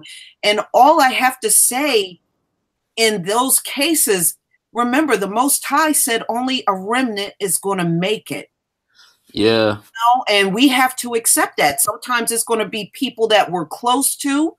It's going to be people in our own families that will be excluded, and we just have to accept it. We have no choice but to accept it. Yeah, right. Stuff, dig but... this. Dig this right, right quick. Morpheus has said it best in the Matrix.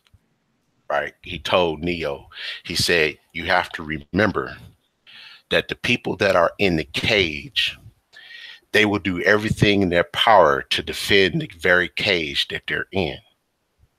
Mm-mm-mm. You know, you got people who who will wake up to the truth, the neos of the world, the elect, the teachers, the warriors that are fine and seek the truth, seeking, asking, and knocking. That's what the elect do. That's what we do. That's how you find out who's who by understanding that spirit. Those who seek the truth, those who love the truth, those who will will dig down into it. And then you have those who are naturally asleep. Those people that the Most High has said that He will cause them to have a great delusion. Right. And you remember, and also, brother, He's going to confound people because they are just simply not what he wants. So it, it's like you'll read something and they'll read the same thing and they'll get something totally different from it. And it, a lot of people don't realize that's really done on purpose. Right. They'll read it for face value and stop there.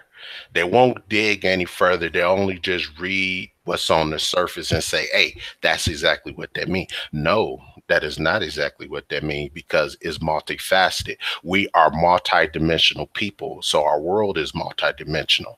The Bible is multidimensional. Mm-hmm. And, so and, you have to go dig deeper.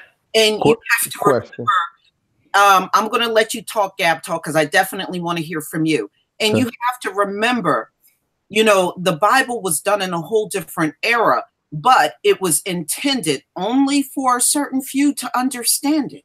And that's what we're seeing. That's exactly what we're seeing today. That's why the Messiah, Hamashiach, he always say, let let them who have eyes to see, you know, let them see. And Absolutely. let those who have ears to hear, let them hear. Because not everybody has that. That is correct. Go ahead, Gab Talk. I want to hear from you. Sure, sure. Thank you. Uh, peace to the family. Um, or shalom is the correct term, right? Shabbat shalom. Shalom. Shabbat shalom. Yes. Shabbat shalom. Thank you. Um, I'm I'm listening and I'm not versed in. I hope this wasn't like a closed discussion.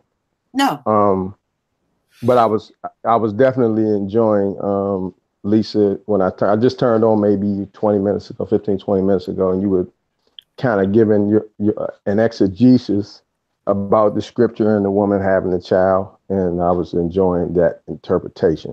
Mm-hmm. Um, the the most I know about Hebrew Israelites is kind of what I get off YouTube. I have no up close and personal uh, relationships with uh, brothers and sisters, not by design, just kind of just hasn't presented itself that close Mhm. in my life. But um, question for for you guys on the panel: um, Does is it in the Hebrew Israelite faith the belief kind of like is it like the Christian church a little bit or no? No. It's Am I pure. wrong?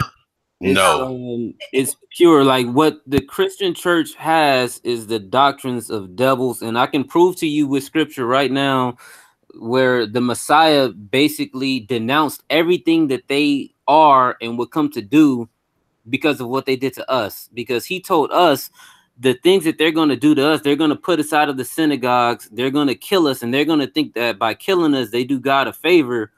And so, if you look back in history in the first century, towards the fifth century, and even more than that to this day, you know, what the Europeans and the Christians have done, you know, in the name of God to our people is hell. And he said that I didn't authorize that. They don't know me and they don't know my father. And if they don't know him, that means that they're not under the covenant. They don't follow the law, statutes, and commandments. Christianity Okay. does none of that. And Okay. you know what, Gab Talk, you know what else? Um, and thank you for that, Brother Hassani. Um, No another problem. that I want to say is Christianity came from our slave masters. You know, Okay. that reason alone turned me Right. off of Christianity. Pilgrim. Uh, Christianity was brought on to us by force. And in some Okay. cases, it was beaten into our people to accept it. Under the rule of the Roman Catholic. Exactly. There Yeah, were yeah. people, there were people back when it was being introduced that did resist and didn't want it, and they were killed. So Okay. So let me clarify. Let me. go ahead. I want to clarify. You go ahead and finish, but I want to kind of clarify. So you Um, clearly can see that it came from the slave master, and only certain doctrines were allowed to be taught to the slave. Slave, love your master. Yeah. turn the other Yeah. cheek. Okay. So they set it up where no matter what dirt they did to us, we as Christians had to accept it. So the Most High is not in that. That's nothing but straight up evil. Yeah, Those Christian absolutely. It's nothing but Okay. in those churches every Sunday. Okay. like got to, it. uh, Now, what I was. Oh, okay. Go ahead, brother. Go ahead. I want him Uh, to ask his questions if you don't mind. Go ahead. Ask your next Oh. question. Okay, go go, go ahead, Gab. Okay. Um, so because definitely what I hear from the Hebrew Israelites, like on the streets, uh, like like the brothers in, in New York, Yes. like it's it's way stronger than what I grew. I grew up in the church till I was about twelve, and then like moving on into Islam We all have, brother. We all yeah. All right. So, so, so, um, definitely, like, I, I definitely recognize a stronger gospel. Um, and it looks like it removed removed a lot, if not all, of what the slave master, the, the, the spell that the slave master put on the scriptures. hmm And so I think what I'm driving at is like when I talk to Christian brothers and sisters, is it's like they they believe that they are only going to make it. Like they're the only ones that's going to make it.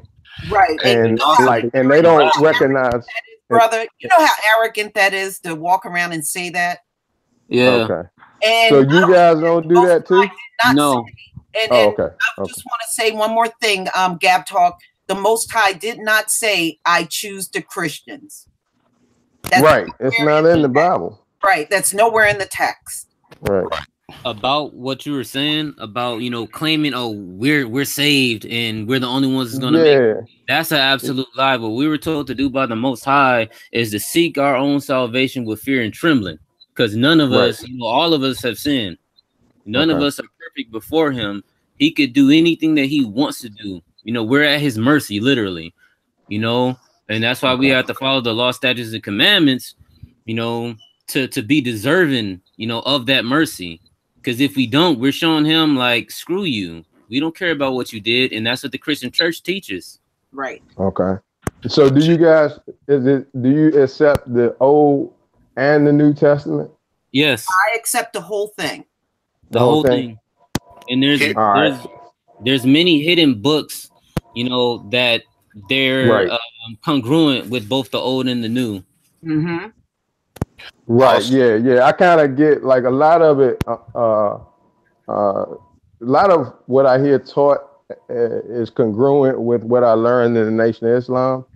Um, a lot, a lot of it, and um, so I'm I'm the kind of brother I uh like a bird. I, I would say I, I kind of go and I look for things that are um congruent, so I can figure out how to unite because there's so much information. Um, It is. It is. there's so much information. Like I, I don't think we would live to to to get to the bottom of it all, but we can do our best. So I'm always trying to see if the people preaching certain doctrines are adverse to unification, even though the person may not be up to speed with regard to their understanding of scripture or their faith. No, brother. You know what? It's about repentance, and Okay. it's about, Absolutely. it's about coming to the Most High. He wants us to come at our own free will. This is not supposed to be forced. It, we're not supposed to be guilt into this at all. Mhm. and it's all about learning. We're all learning, you know, and that's what you have to understand. Right. No, it might be some that have a little more knowledge than others, but we are all learning. And then when we get into the kingdom, we're getting a new covenant. So it's going to be learning all over again. okay. So Right. Right. right. we're going to right. stop learning in this walk. Yeah. Like um like I I thought that I quit pretty much everything that you know I'm not supposed to be doing. And then it's like I I just figured out like cuz I I used to vape and then I realized that wait a minute you know this stuff that I'm taking in it it alters my state of mind and that could be just as bad as like marijuana or something like that. So you know I had to kick that to the side too. But you, you're always learning. Yeah. Exactly. It's Rochelle, just having- would you like to say anything? Rochelle, Oh yeah, hi, how you doing? how you doing, sister?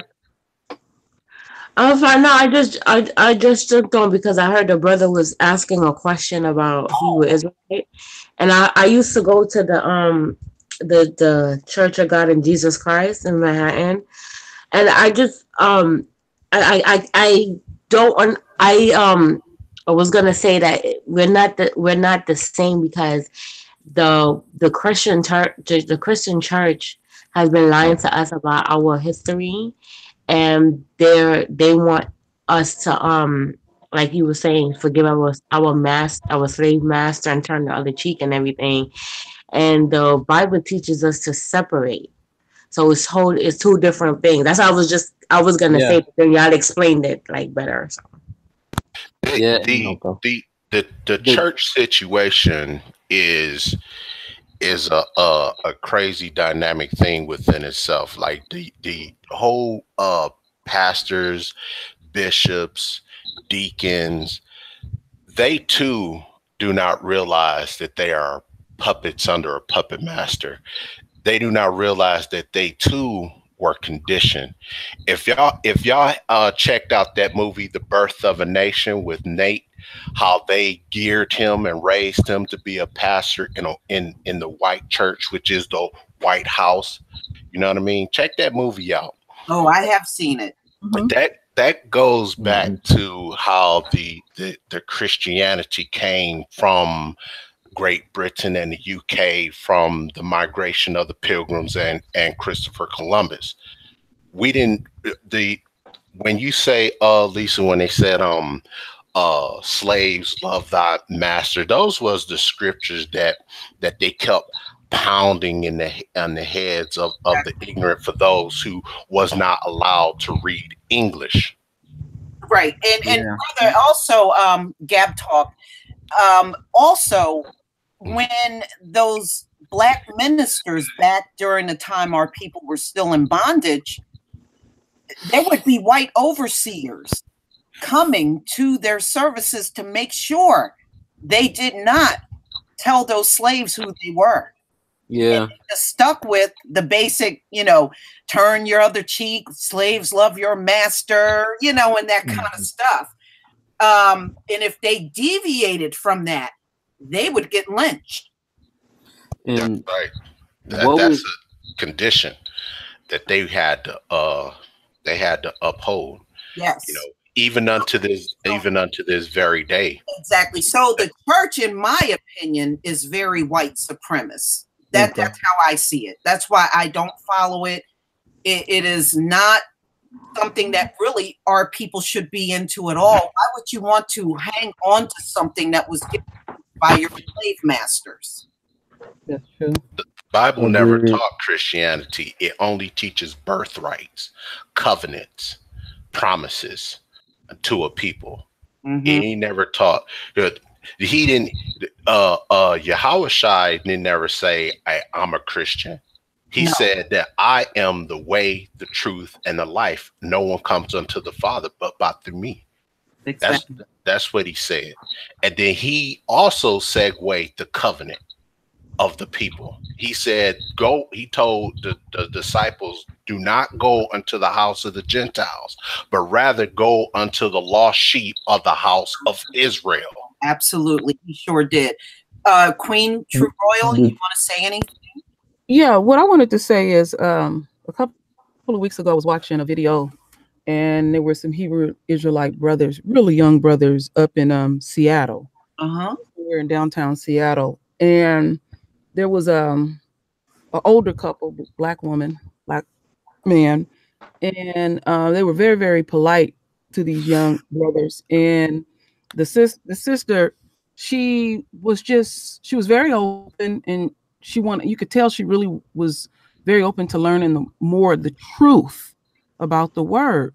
So as she was talking to um, these young men, one of them act like she literally did not exist, and another brother was more open to her, and um, she wanted to show a scripture or something, and the younger brother was like, "You don't even touch this Bible. You are not even allowed to teach at all, and you know it." Was that GMS? You, Yeah, you, that- that- That- that's what I got.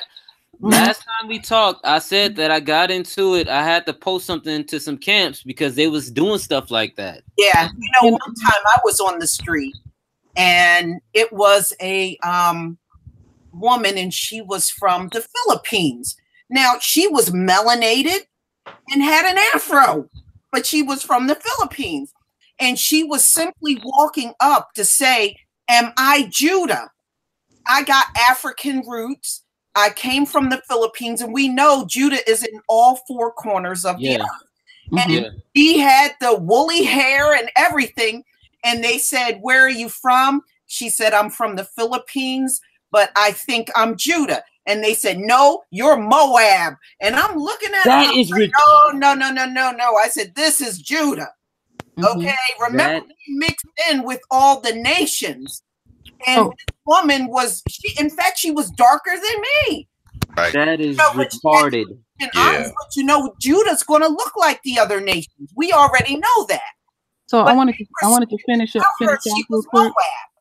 I wanted to finish off real quick, and um, Queen. and, and the brother the brother was so nasty and so rude to to the sister, and um, and I and I know that there, there are people out there seeking, and they probably you know some people may not go any further. That'll just stop them.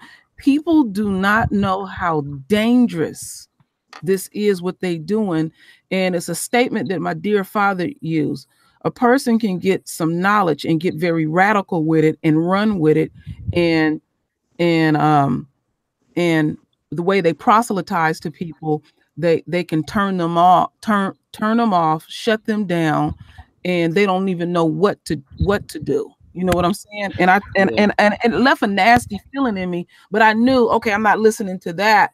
I'm going to i'm going to continue to to to keep seeking. I don't i don't let people i'm putting this message out. I don't let people stop me because i'm it's like okay wow i, I didn't got shot down. It is utterly to your to make it to the kingdom for you to seek on your own even when people display that So even when it comes to man on this planet, man is flawed. And we even our own can be flawed too as well because they think, okay, I didn't got this knowledge. You women or whoever you are, y- y'all don't y'all can't have this at all. And I, I I don't want I don't want to be personally the catalyst into saying something um um in the wrong way because some people can hold on your every word and because of because you're not being humble forget being proud we should even leave proud out of our vocabulary as far as i'm Yeah. concerned because you Yeah. you you're going to run into something else where you go oh i had that wrong it's a it's a lot of things i didn't got wrong and i will get up and make a video and say you know what i said that wrong and somebody say oh that's brave of you i'm not trying to be brave i don't want to lead my people in the wrong direction i'm out here seeking don't hope don't, I, I don't speak in the absolutes i'm seeking just like everyone else hopefully Right, right. Right. And sisters, You know what? There's nothing wrong with that. You know what? What I want to want to quick. it- it- The people that are turning off those that are approaching them, they're going to pay for that. They will. There is a price for turning away a potential person that could have been in the kingdom. They're not going to get away with that. Go ahead, um, Hassani. Yeah. So what I was reading uh, one of the books of the Apocrypha one time, and I saw it says that you know many of our people will they'll they'll have to die in the last days because of their pride, because there's gonna be great pride and great boasting, and I see that inside a lot of the camps. Like um you don't tell people that, and especially because that whole Moab thing is so retarded. That's there, there were people in the Middle East. That's not Asian people. Is is not true. Yeah. And, You know, um, and, and like I said, we remember we have gone through this captivity for centuries. So quite naturally, we have mixed in with the other nations. He already knew that was going to happen. So there are going to be many that are Judah that will have Asian features. There's going to be some that are Judah that have Arab features. We've we blended in with these people. yeah, like me, like you know, can can can I say something right quick? Yes, go right ahead, brother. I wanted to uh, explain uh, to the sister why why that is and why they do that on a more of a um a natural plane. Why do we overlook drunks? Because we know they're drunk when they're acting belligerent. You know what I mean? Mm-hmm. People can be drunk by knowledge too. The same the same way our young men and women they come up poor as soon as they get them a little bit of change in their pocket, they don't know how to act. Mm-hmm. Right. So a lot of these Hebrew camps, you have to like really understand it and and give them a pass because these camps, these these are young men and they learning a very small veneer of the truth. And once they get a little taste and hint of the light, they get knowledge drunk. And so they get to saying things and doing things that they really don't understand what they're saying. You know, and so you have to Yeah. always keep that in mind too, that they not really they they what they're doing, they're in a situation where parrot syndrome, where one parrot say something, the other parrot say something, and he's only doing that because he think that that's right to do when that's not right to do. He, Right. But, you know, compares it to- ultimately, it is up to the Most High on how we get judged. So all we can do is rest that in His hands. And, you know, unfortunately, those things are going to happen. We're not going to be able to stop it from happening. But hopefully, even if somebody walks away feeling negative, I hope they will still try to pursue the truth. I mean, that's all we can pray for. Exactly right. Go Hey, ahead. At Gab Talk. least the seed was planted. Yes, yes. Um, go ahead, Gab Talk. Were you going to say something? No, I was just agreeing with the with the brother that we we uh kind of involve ourselves in a lot of intellectual. Um, I've heard it referred to as in, as intellectual masturbation sometimes Uh huh. uh, with all of the information that we can collect. So uh, it's no wonder to me that the Bible um, and many scriptures, uh, really, uh, or or ancient writings, say that the righteous people are marked by humility and meekness Mm-hmm. and and so like and this that's what I hear going on on this on the show, and I'm, I'm like real appreciative of it. Actually, um, uh, I've been in discussions like this, and it's usually somebody just trying to convert uh, me to think as they think, being overpowering and yeah, like like oh you, you know like ramping up their tones if it sounds like I'm not in accord. You know what I mean? Um, just kind of enslaving me a little bit, uh, or just enslaving people. It's not just me. I, I just and I remember being that way with my Islam before, and it and it took a, gro- a growth to to to come out of that, and it it, it may have took took a few years, as a matter of fact, uh, for me to understand that that is not the way of God, and that's my perspective. I don't believe that that's the way of God. Well, you know, The um, universe me, is big. off- For me, I got hauled off to church by my parents. So Mhm. when I got into the Christian church, it's not like I had a say in it. You know, I was still Yeah, a yeah. child. You know, I was raised in the church. I was taken there as an infant. So I didn't have much say until one day um, my mother just said to me, Get up, get dressed, we're going to church. And I just had to look at her and just say no. I knew I was going to get that ass beaten, but I had to just stand there and say no. And for from that point on, I did not go back to the church. And I know, you know, it's hard. You know, it takes sometimes it takes courage to just stand up and say no. You're not going to take me back in there. It, it just something did not feel right about it. I'm glad you said that, Put my Lisa. finger on it, but something even in my young years just didn't feel right about it. I'm glad you said that. This is how we understand the difference, right, between world knowledge and spiritual knowledge, right?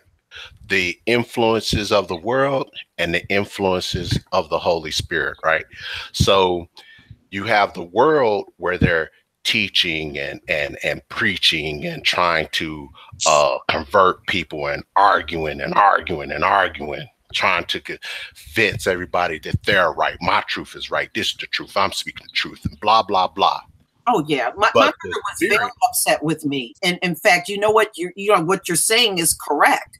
Now, my mom was very upset with me, and what she did in the beginning, she would come back home because it was a couple of um, other girls in the church that were my age, and she she would say, "So and so's in church every Sunday, and they're not complaining about it." So she would do things like that you know, and so and so and so and so who you your same age, they were in church this past Sunday. You know, she would do things like that.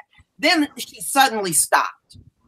And I guess she realized she was not going to change my mind. So she stopped doing that. But she tried to manipulate me and tried to guilt trip me into going Right. back into the church. But I, I just didn't fall for it. right because it wasn't in you to do that it's not in those who to, to do that because the the scripture says many are called but few are chosen. Now who's doing the choosing? The holy spirit is doing the cho- choosing because it it, it it come and goes. That's scriptural too. And it mm. take those and plant itself in those that are going to be pliable to learning and and finding out the truth. The the seeking out the truth is the natural thing. It happens organically where you will have the the the the premise to ask certain hard questions that the church will not answer you know what i mean? Seek out the truth that the church will not reveal. Knock on the doors that the churches will fail to open. So then you start to realize well wait a minute. Then you start to read the scripture where need not any man teach you but the holy spirit will show you of all things right? Mhm. So then I you wanted, I wanted to ask something you Uh, do you know when I was five years old, before when I was still in the church, I used to go to Sunday school.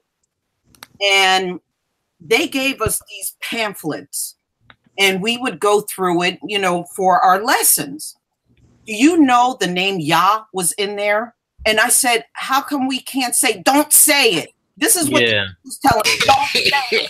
We say God, Lord, and Jesus. Don't say that. I said, Well, why is it in here if we're not allowed to say it? Right. Don't Like, that. Don't like, say it is she? like it was something like it was a bad word.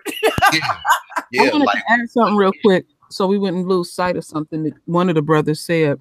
Now, this is just for me personally about this very incident that I was talking about how this brother had treated this much older sister, old enough to be his mother. Uh-huh. I'm not giving nobody no pass Yeah. when they purposely throw off negative energy and be that nasty because this stuff is that serious to me It is. in the way that I picture it, just imagine you got the unquote pearly gates. We're gonna use that for an example. And the creator is basically saying you can't come in here because then he put a put put something back in your brain, which you had did way back in, in, and you purposely did that. So you you you're not coming in here. You're not coming in here. And in fact, you see all these people that you led astray behind you. Once you found out the total truth, you did not take your behind back and go to the best of your ability to correct that. I'm not giving nobody no pass. This stuff is that serious to me. It is. yeah, I, I agree. Um, I agree with you. I didn't want to make it seem like I was giving. No, we can't baby You know. nobody on this. This stuff is Right. that serious. It is that serious because what I want to say to y'all, and I'll say it as coded as possible. When you experience hell, then you would know why I'm speaking in the fashion that I'm speaking in. You don't want to experience that. You don't even want the yo the person you hate the most to experience that. You say you would until you encounter that, and it's like, okay, this is real. This is real. This is nothing to play with. And and and, when I when I imagine that, if I possibly led a people astray and I look behind me and I see all these thousands of people, that that that'll change your whole perspective. We can't babysit people on this and stuff and, and stuff like that when it comes to the to the word. We have no time. There's no time Yeah. to be playing with this. Yeah. And I, I was trying to get to this.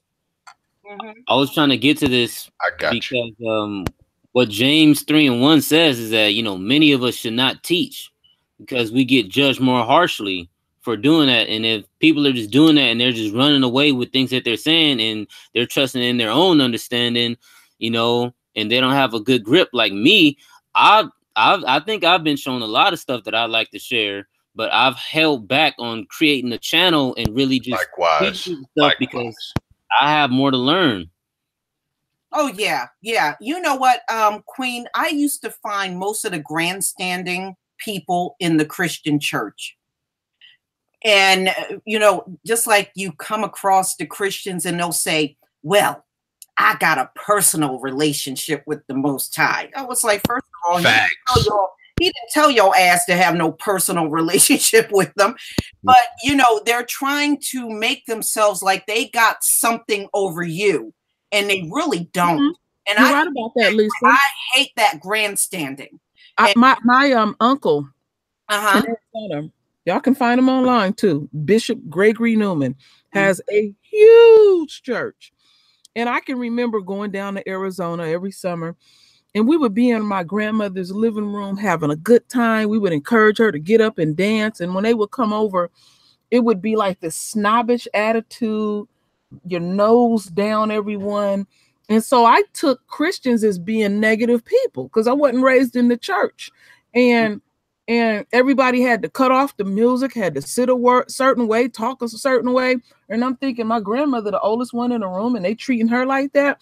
So I never had good experiences. It's like the other night, we, me and my husband was talking about, um, because he was raised in the church. The few times I would go to church, I would see people unquote talking in tongues, kicking and bucking up in the floor, and I'm looking at this six or seven years old like that that's fake. That ain't that ain't real. And then my husband even mentioned about when people put their hands on po- people. Oh, you heal. They got the healing. They got the healing. With Oh, the blessed oil. theater. Got Better. got the, the virgin olive oil in the hands. That stuff you know, when. I used to be little, when I was little, and oh man, this also made my mom mad because you know, back in the day, they used to have these ministers on TV. They were so phony. Me, I watched them as a form of entertainment. Well, it, back then they had Reverend Ike. Now listen, he, Oh, used to have, he used to have these uh, testimonials on TV. So what he would do is he would have people in wheelchairs, people in gurneys coming in the, you know, in his church. remember that. Oh, I need healing. Oh, I can't see. I lost my sight a week ago. He would put his hands on them. Girl, he would pick up a piece of raw meat. Here's the cancer. I got the cancer. I used to almost be on the floor laughing. And my mom would get so tired of me, she would come in the room and yell, Go outside and play. hey, I wh- was screaming in front of that TV. I was laughing so hard. I knew that mess was phony. He would be holding up. I said, That's a piece of beef. I got the cancer. People wrong. hey, hey, when I was coming up in church, we w- we went to this one church and they had caught the Holy Spirit and whatnot, and they got to praying out in front of the pulpit, and uh, uh the pastor would come down and lay hands on on on all the people, and they bring out newspaper and lay out on the floor, and the pastor would say, "We're gonna have y'all spit up all these demons y'all got," and the people got to spitting and hacking up stuff all on the floor on the newspaper. like, what the what the world is this? And then I, I was a kid, so I. Didn't I didn't know no better. So I wanted to see what a demon looked like. So I got up, walked up there and by the pulpit and looked at the newspaper and looked at all that spit and hack all over the floor. I was like, oh, okay, that's must what a demon looked like. Oh my goodness. do, y'all, do anybody did anybody um see that video where that pastor o- o- over over in Africa told told the congregation to go outside and start eating grass? Did Yes. anybody see that? There was, What? Yes. there was one back in 2012 Mhm. that made his congregation drink rat poison over in Africa, and they all died. Wow. like 2012.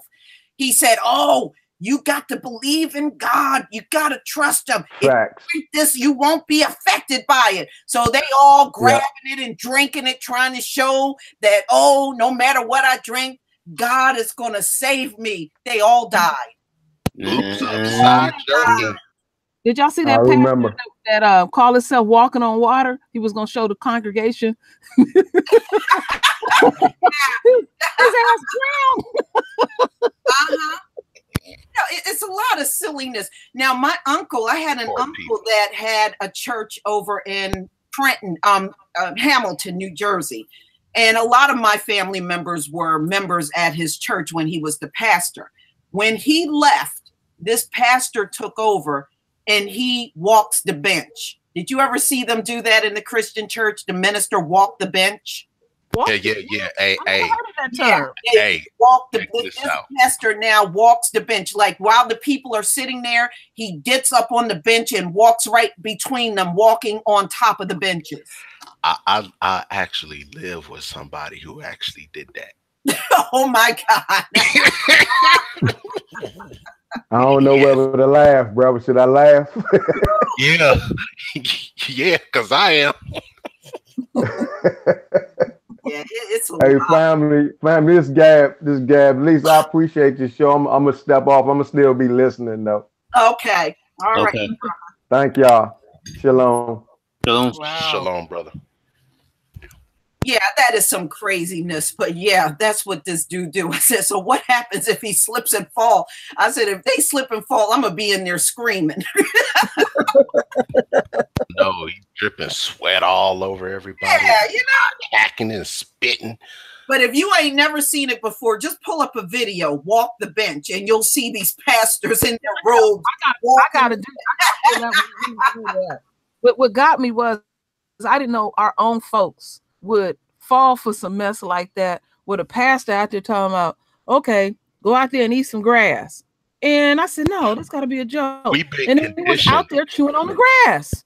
Yeah. We we've been conditioned over the course of years to to fall for stuff like that mm-hmm. because you have to remember that we're we're the only people that don't have any true leadership and it's also uh, stated in the bible that we will be sent over here to worship wood and stone and gods that were not our own oh yeah queen yeah i just, I just wonder i just wonder why i just wonder why mm-hmm. why um a lot of the black churches think that they have to have theater, hooping and hollering and buck. Where did all this crap start from? Where um, kick, kicking up dust? Because my I remember my, my my dear mother was raised in a church like that, and she said on Sunday they would get in school and they would stay all Sunday, take yeah. a break to eat, and just what do you? Where did that come from? Yeah, and you know what, Queen. A lot of this came from actually chattel slavery that's where a lot of it came from, originated from. You know, um, Sunday wow. were the days that many of the slaves actually felt like they were free because they didn't have to work. They went to church.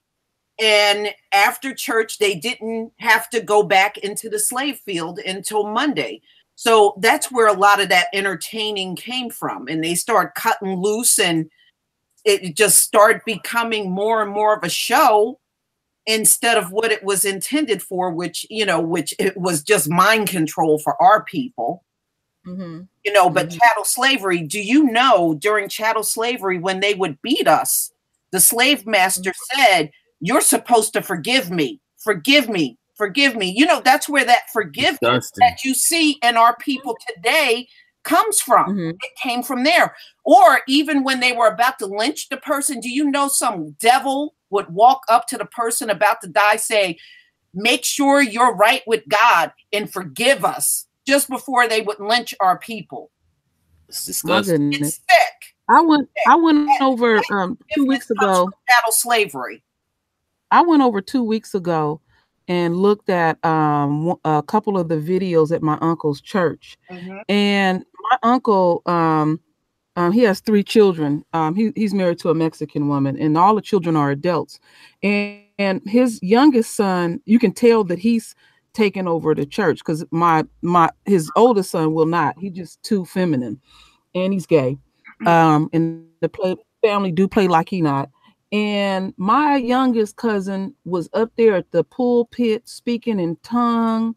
And then this is the part that got me when it was time to pay your tithes at my uncle's church there's about six stairs um, uh, um, in a circle that as you lead up to the podium and how they put their tithes out they just put it right there on on the stairs and stuff um, and when you have an inside track because i know this family well and i know how corrupt my family is it was just really hard to stomach and um hard to watch hard to watch Queen Mike, I got a cousin that got a church. I'm gonna show you him online because you said you. I'm gonna show you him. Hold on. Mm-hmm.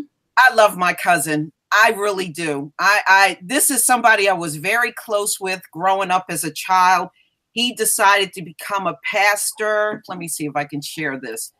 And he's still into the church, and you know, I, you know, he's not going to change.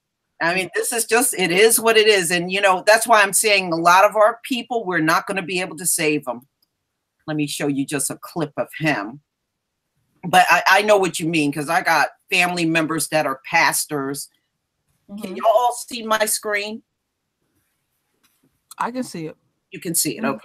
All right. Let me just start. This. Yes, we can see it. This uh, is Reverend James Kinchin. This is my first cousin. He's got a church down in um, Miami, Florida. All of my Florida relatives are um, part of his congregation, and he has a pretty sizable congregation too. But this is him. Yeah, I'm gonna close, but there's a man in the Old Testament by the name of Joseph that will tell you if the Lord hadn't been on his side Joseph wouldn't have been able to make it. His own brothers put him down in a pit. He had a coat of many colors.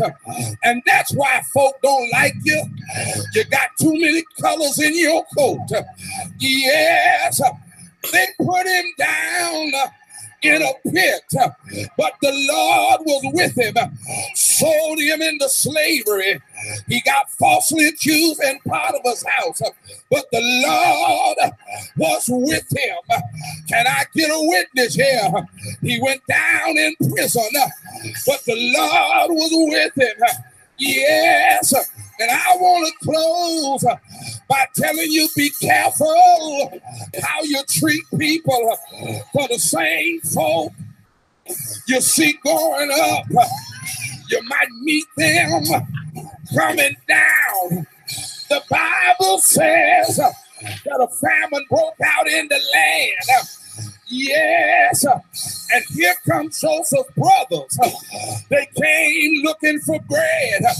And when they get there in chapter 45 of Genesis, look who's standing there as Secretary of Agriculture. Look who's standing there in charge of the. But see, yeah, you know, that's what I'm saying. What did he say? This is my cousin, okay? Rock and roll, huh? and He getting it in. he's Church getting of rock and roll. you know what? It makes me sick though, because we know that's not the way. But unfortunately, as much as I love him, we grew up together, we've been around each other from childhood on up. He ain't gonna change. You know, he ain't Yeah. getting out of that Christian church. He's been a pastor now, probably gone on 30 years, and he's not gonna let go of it. And, you know, when I first got into the truth, that was one of the things I thought I could do. Oh, I got to tell my family, and oh, I can't wait for them to know who they are. You're going Yeah. to be shocked. Right, because you, you love them. You, You love tell them who they are, and they don't give a damn. Man, you know, Lisa, how much I struggle with that here. I struggle. I, I went, I went to, um, I went to Texas, to, uh, Atlanta to visit my older brother. I brought some material that I wanted to share with him. And I was like, bro, you know, I wrote this. It got it all in here. I made like a, a six, seven page document. I wrote up myself and put the pictures and the historical Brother. uh, geograph, everything. I even shared it with my younger brother. I was like, bro, I put a lot of work in this. I want you to uh uh he lives in uh Texas. I went from Atlanta to uh Texas, visit my older brother, then I visit my younger brother because I wanted I wanted them to know. And I read him some stuff out of the Apocrypha. I was like, bro, let, let me read this. And he's standing there like, so what that mean? Like, bro, you gotta read it, Man. man. It's like, I've done the same thing. I've done the same thing. Same reactions. Yeah. Yeah. And that was him at a, a revival night. So Wow. he's not leaving the Christian church. And I just had to come to terms that many in my own family is just not going to make it. They're just not. They they are still clinging to Christianity. They are still getting up right now. I bet you if I pick up the phone and call down to my Georgia family and Florida family, they're going to be in church. That's where they're going to be. I had my mom tell me right quick. I heard my mom tell. I said, "Mom, I've been trying to break all this stuff down to her. I try to uh segue some information to her as much as I can." So I told her one day. I said, uh, "She said, well, I'm going to church when I uh when I get to Texas." I said, "Mom, come on now, you ought to know." Cause she do a little bit of her research and stuff on her own, but I told her, I was like, "Mom, don't step foot outside no church now." She said, Well, I ain't trying to hear what you're trying to say. I'm going to church. I was like, Oh, man. Yeah. All right. That's all I could say was, All right. Yeah, I, I know exactly the kind of position, you know, I, I know exactly what you're saying because that's happened to me. I've been said I've been told I've been in a cult, you know, from like my own mom. and I've had situations where like I'd take like a, a, cousin of mine, he came over to visit, and I was just, you know, telling him all this stuff. You know, you think that they'd be excited, you think that they get it, but he just stood there like sitting down there smiling at me while I'm telling him and just just holding fast, like, well, yeah, uh, we was in a Christian church every Sunday, we would stump that devil out. Right, I, right. I would just look at him like, nigga. Hey, hey, Lisa, Lisa, I send you an email uh-huh. of my uncle's church. Uh-huh. I just want you to just play a bit of it right at about 40, 48 minutes. 48 okay. minutes of the video. To my email.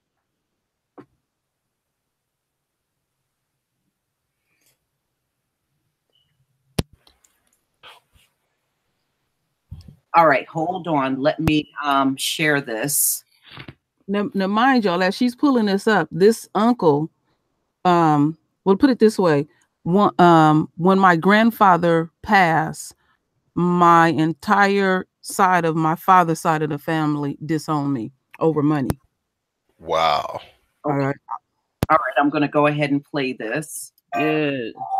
Stop that. Those my cousins.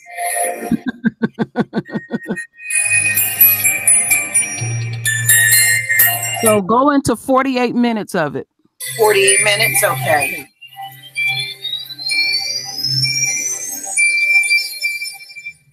This is down in Glendale, Arizona.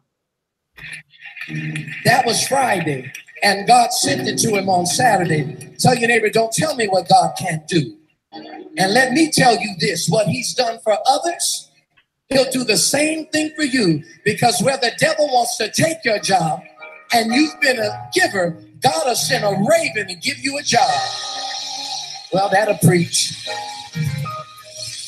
Because you know, the prophet had no food, but God sent a bird to give food. So I want you to be encouraged in your giving today that I don't care what it looks like. God can send a raven to give you that refund. God can send a raven to make you save $50. God can send a raven to give you a new job. But if you put your trust in Almighty God, lift your voice and say, He will take care of you. Now come and bring the tithing and the offering and bring it with joy. Joy, joy, joy, joy. joy. Bring that damn money. Man. Oh my goodness. Bring that goddamn money up here. That's and a people start putting money all on the on there, and I, me and my husband was like, "What?" Because I only been in that church once when my grandfather had um my grandfather had passed, and um and everybody was just you know they got all excited to see the Newmans because my grandfather was a doctor, but he had a PhD in education. And I'm sitting, and me and my husband sitting up here just shaking our head because one of my cousins, she got up to sing. She looks like a man, so she had on a three-piece suit. And I was like, oh, I can't wait to get out of here. It was just, it was just, it was just too much. Yeah, and then I have another uncle. He has a church. It's a little bit smaller, but he has a um ATM in his church and stuff. But basically, the long of the short of it, my grandfather had a great deal of money, and um it just happened that out of all the seven siblings, my father was the first one to pass. Then my grandfather. So I ended up inheriting my father's um portion of the money, and they was pissed. And my uncle, because that was his son talking, called me on the phone and told me what I was supposed to do. And I told him, no, we're gonna go by the state, the laws by the state of Arizona. He thought that he could throw his will at me. And I knew that it was gonna come at me and my family, they're bullies. So when you don't go along with their program, what they'll do, they'll just disown you and don't talk to you at all. Uh-huh. Uh, That's fine. I won't talk to you either. but you know what? That's how it is. Now, my cousin, you saw him in his suit, but he does wear an African um, robe when he's normally in his own church and he's uh, preaching. So he doesn't always, you know, sometimes he's in his suit, but in that clip that I showed you of him, he was at a revival. He was preaching at a revival. Mm-hmm.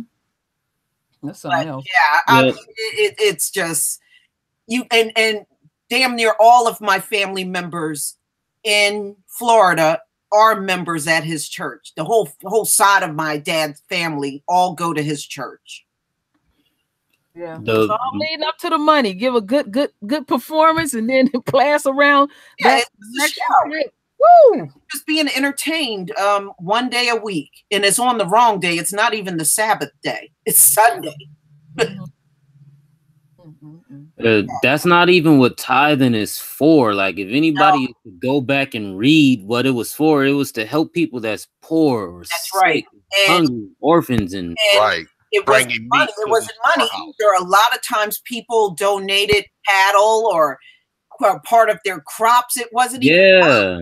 that they were That's tithing. right. You know, And that was my- for, and, i- and if it wasn't for them, it was for the tribe of Levi, the priesthood. That's We right. don't have no priest right now. I remember when my uncle first started church, first started his church. I remember it was back in 1978, and um, and I we, we we literally watched that church grow in front of our eyes. And to make a long story short, that church bought my uncle and his wife a Mercedes apiece. hmm They have sent them on trips around the world, and um, black folks don't have money. Yeah. I mean, what what what do that got to do with anything? And I remember uh, Nothing. his brother was telling me, our real estate agent was telling us um, that his pastor was pissed one day at church because he got tired of flying to these different events at church and he wanted his own plane. Yeah. I've heard that before. They into that too. That's But a that's what? a, going trend right now. right. And you know, when we get into the kingdom, the Levitical priesthood will really be no more. We're going back under the order of Melchizedek. You know, I I, I don't know. You know, it- it's a lot of deception, even among the Hebrew Israelites. You got a lot of them tithing. Wow. Yeah, and it's like I don't have a problem with helping out our brothers because they they saved my life. You know, the ones who teach it the, the the the Bible cut and dry, and they don't have any leaven inside their bread that they that they feed us with. You know, I would love to support them. eh, You know, if I could. It's not it's not all of them like that, Yeah, unfortunately. yeah, yeah. No, it's But, not um, all of them. Because a lot of them are doing it this for the same reason these pastors are doing it. Yeah, or yeah, I know. living larger and luxury items, you know, and that's not what tithing is for. Right. Yeah. That's personal gain. When you you you using what you learn for personal gain, for monetary gain and stuff, you totally destroy the whole image of everything. But I had to learn over the years. I had to learn over the years the reason why there's wheat and tares, sheep and goats you Mhm. know and when i realized that that's when i had to step back and say you know what? I want to help. I want to do my part to help wake wake people up. But at the end of the day he said that he was going to do the separation. You know what i mean? So only thing i could do is is search out my salvation with fear and trembling you know? Yeah. Mm-hmm. Hmm Exactly. You know, um, and I re- I even remember when I was growing up, you know, I would get sent down south to visit my grandmother and grandfathers. And Sunday morning came. Wake up, we're going to church. Wake up. I'm like, oh my like clockwork even had- I even had to turn that off once I reached a certain age, and I went didn't to want to go church on monday I love my grandparents and I wanted to see them, but I knew if I would have went down there, it would have been get up and go to church. Went to church on Tuesday. Yeah, you know. Went to church on Friday.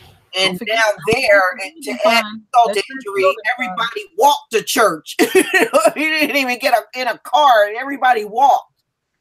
uh, what the Most High says about this kind of behavior that we've always had, it's like drunkenness. It's like it's like like all we've been seeing is people acting like they're just drunk. You know, like they lost their mind. Like I have some verses. uh. I have some verse verses to read, if that's all right. Uh-huh, go ahead. All right, it's uh, Isaiah 5, uh, 11 to 13. Bring it says- out. Yeah.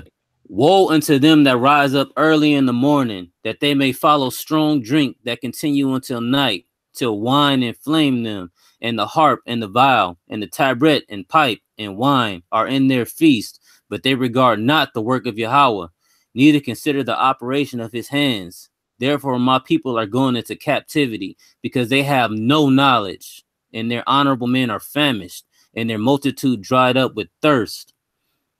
You know, so right there, he's sort of describing, you know, the condition that we're in of having no knowledge and uh, the drunken behavior that we have that's not according to, to, to his will. And so we tie in drunkenness with uh, Revelations 18 and 3, and we'll see, like, you know, that the nations are under the same delusions. So it goes for Yeah, all of- nations A lot have. of people are doing stuff out of fear and guilt. Uh, And fear and Let me continue this what? right quick. Wow. For all nations have drunk of the wine of the wrath of her fornication, and the kings of the earth have committed fornication with her, and the merchants of the earth are waxed rich through the abundance of her delicacies. Right. So it's like uh it's a real thing when we see people that's just really uh like I saw Snoop Dogg, he had like a bunch of Crips come and do the sea walk at like some kind of Christian gospel congregation thing.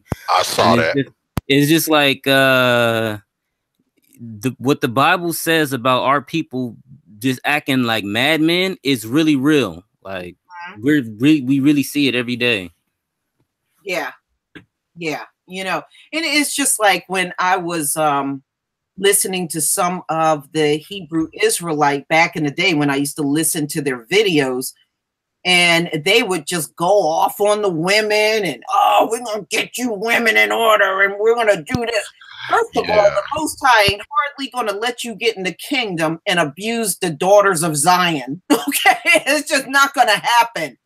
No. I heard things worse than that. I oh, heard a brother Bad stuff. I heard a brother in a camp talk about how they was gonna snatch up like the young daughters of like the heathen and rape them. And he said that they were gonna get them while they were young.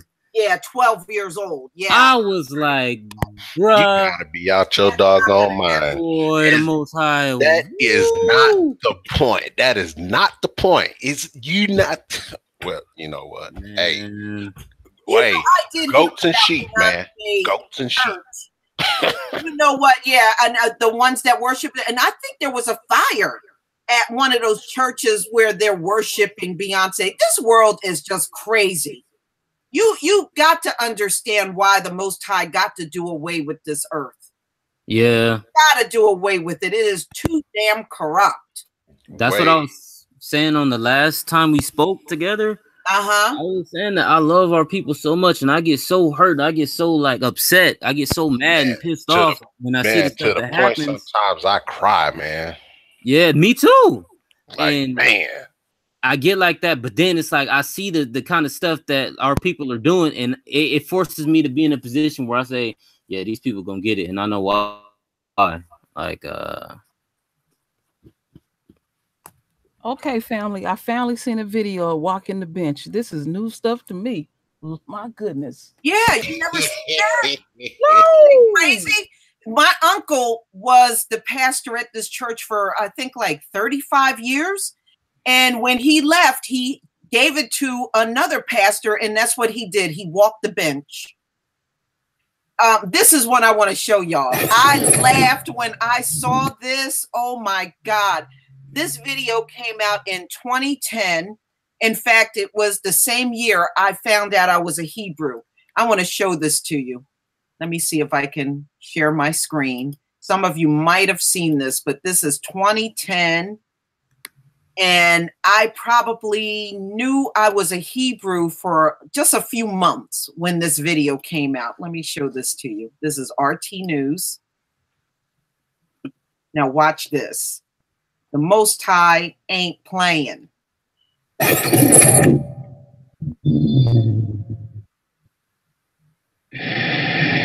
Jesus is on fire. It's amazing. Look at the cross. Is that a church on fire? It's a statue of white Jesus. Wait, Mm, see, burn it. a lightning strike hit it and it went up in flames. It was white Oh. Jesus, y'all. There it is. Oh wow.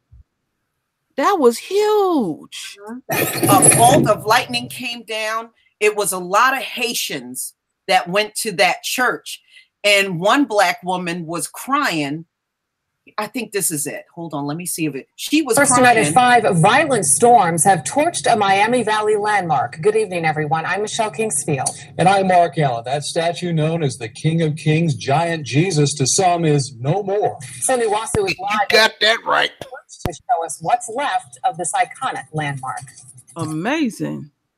Well, Mark Michelle, these ashes are all that's left of the giant Jesus statue. And we've seen people stopping by here all day, picking up these remains and taking them home as a reminder of what once stood behind me. And take a look a metal Mm. skeleton frame, now all that's left of what used to be a 60 foot tall, six story high statue. Giant Jesus no more. It was quite the sight when a bolt of lightning went straight through the outstretched hand of Jesus. An act of God reduced the iconic landmark to ashes. lightning had hit one of the hands and, and the, the fire first started in, and I believe it was the right hand. Word of this fire spread as fast as the flames. Within minutes, a big crowd gathered at the base of the statue, some very emotional, taking this as some sort of sign from up above, others glad to see it gone. This cannot be a coincidence. This is something that we all have to go on our face as the church and pray and ask for forgiveness and repent from every sin in our lives so that God Himself will come back. We worship Jesus, we worship God, and we need to come together as a church and start fasting and praying and see what we're missing together as a church. Brad, touchdown, Jesus. You're missing the truth, buddy. Do you hope they don't rebuild it? Well, he's got a lot of money and he likes it. It's his church. His wife likes it, so he'll probably rebuild it. More power to him. I'm just glad I don't look at this one for a while. The church is already saying Jesus will rise from these ashes, and this time it'll be bigger and better. This one was well grounded, but it was also made of highly flammable styrofoam wrapped in fiberglass. Everyone looking at this devastation is trying to find some meaning in the ruins. I think it's the Lord telling us that it's about Him and not about images that we can make of Him. Now you're looking at a live picture of Interstate 75 over there. Traffic coming to a slow down If as you there's have a read statue here. Everyone trying to get a look at it. We want to remind you that uh, Ohio State Highway Patrol officers will be citing those who stop along the interstate to take pictures of these remains.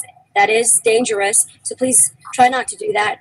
Total damage estimates here are estimated to be $700,000. Now, I did speak to the founder of the church, and I'll have more with him coming up tonight at 5.30.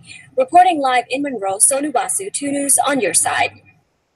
Man, when the Most High say no false idols, that's Right. exactly what he means. Okay. Ah, you see her crying, we better repent. You damn right. You better repent. and Get the hell, you better repent and get the hell out of that church. That's what you better do. That's what he's telling you. You repent and leave. Wow. Yeah, and it's so cool because you know when he took down Egypt, you know he said that he was gonna kill and destroy every god in Egypt, and he said he's gonna do the same thing once he once he uh brings the hammer down on all the nations, and we can expect more of that. Like, Yeah, it is. And the one in I think Mexico, that Jesus in Mexico got struck by lightning too. Wow. That one, you know, the one that they ever, you know, show a lot. yeah, is, that, is it Brazil? yeah, Brazil. I'm sorry, it's Yeah. Brazil. That one Yeah. got hit by lightning too. I think it got struck twice during the same storm. These people better quit playing. I think there was a, a, a statement when the beat. I think how did it go? It was a statement that this woman made at a radio station about the Beatles. Um, I think related to, I, I don't know what the statement was verbatim that they are more popular than Jesus himself or something like that. And that radio station burnt down to a crisp. yeah, good. Serves mm-hmm. them right. Mm-hmm. The, the Most High don't play, and he don't like mockery. When you say Nah, not at all. the Beatles are greater than him, then that's a problem for you. Yeah, that sure is. You know, and um, you just made yourself a target. Mm-hmm. But yeah, I mean, I, Oh, that that news clip came out around the time when I first, probably just a few months, I found out I was a Hebrew, and I remember watching that back in 2010 when that came out. Yeah, that would be an eye opener there. hmm And I was like, man, you better get your ass out of them churches. That's what he's telling you. You get out of there. I mean, they are lucky it was just the white Jesus statue and not the entire church. But you know, hey, that's the madness. We're, you know, the bottom line is we don't have a lot of time. People better No, choose. Facts. You better choose wisely. That's all I can say. When the Most High come back, we're gonna look up in the sky. The Black Messiah is going to be looking down on this earth, and it's going to be a lot of people running for their lives because they know they've done his people wrong. Yeah, that, that's the, that's when everybody. close. That's terrible how human beings can be. That, um, and and I'm only going to just strictly speak on our own. That when it do hit them, then instantly, all of a sudden, you want to be black again. You want to know the truth. You have total belief in all of this. You know, Yeah. I, I truly believe that some people really do know the truth, but they so want to partake into this world that it's like they'll put that on the unquote back burner. Mm-hmm. You know, Yeah. I had a couple of um black people tell me, "Well, I know that we we are the Hebrews, but if I really live that, then I got to give up stuff, and I don't want to give stuff up." So what they're talking about, they don't want to give up their luxuries. They don't want to give up the pork. They don't want to give up night clubbing. That's what they're talking about Yeah, that's not. they and I told them, I said, you know what, you're not even going to miss those stumps, uh, those things. You're not. really come into the truth, but they really don't want to let go of this earth. And what what can you do? There's nothing you can do about that. Some of them think they can do um, both. Can't do He both. gonna do the separate. What the Most High said is that you can't please me, you can't serve me if you don't sacrifice. Like when he had Abraham, you know, to go and to presumably sacrifice his son, he didn't actually have him to do it, you know, because he's nice like that. He could have actually had him to, to do it, but he didn't. He just wanted to see if you were gonna if you were gonna follow me, if you're gonna if you if you were gonna hold something back from me. You know, we have to give those things up. And like you said, Lisa, we don't miss it. Like I don't miss no, I don't miss pork. I don't miss um Crabs, I don't miss lobster, shrimp. no, I don't miss none of that stuff. is is it feels I don't really good be to here. serve the most high. You know how I don't It really you know how I describe it when you when those things that you are basically shedding out of your life, it takes a weight off of you because you It you, does. you you realize why was I upholding that? Why was I partaking into that? And it's just that extra stress out of your life. It really Yeah. is. It, like you said, it, it should it should naturally come. Right. Naturally Yeah, come. Naturally come. That's And somebody had asked me, I thought this was funny. Am I still allowed to have my pet? I was like, of course you can have your pet. Our people had pets back in biblical times. We were bling. Our pets were blinging, just like we were loaded in gold. Our cats and dogs were walking around with solid gold collars. I mean, we had our pets blinging. Okay, yeah. Mm-hmm. I mean, it, it talks about people having their dogs under the table. You know, when they were eating dinner. All of that's in there.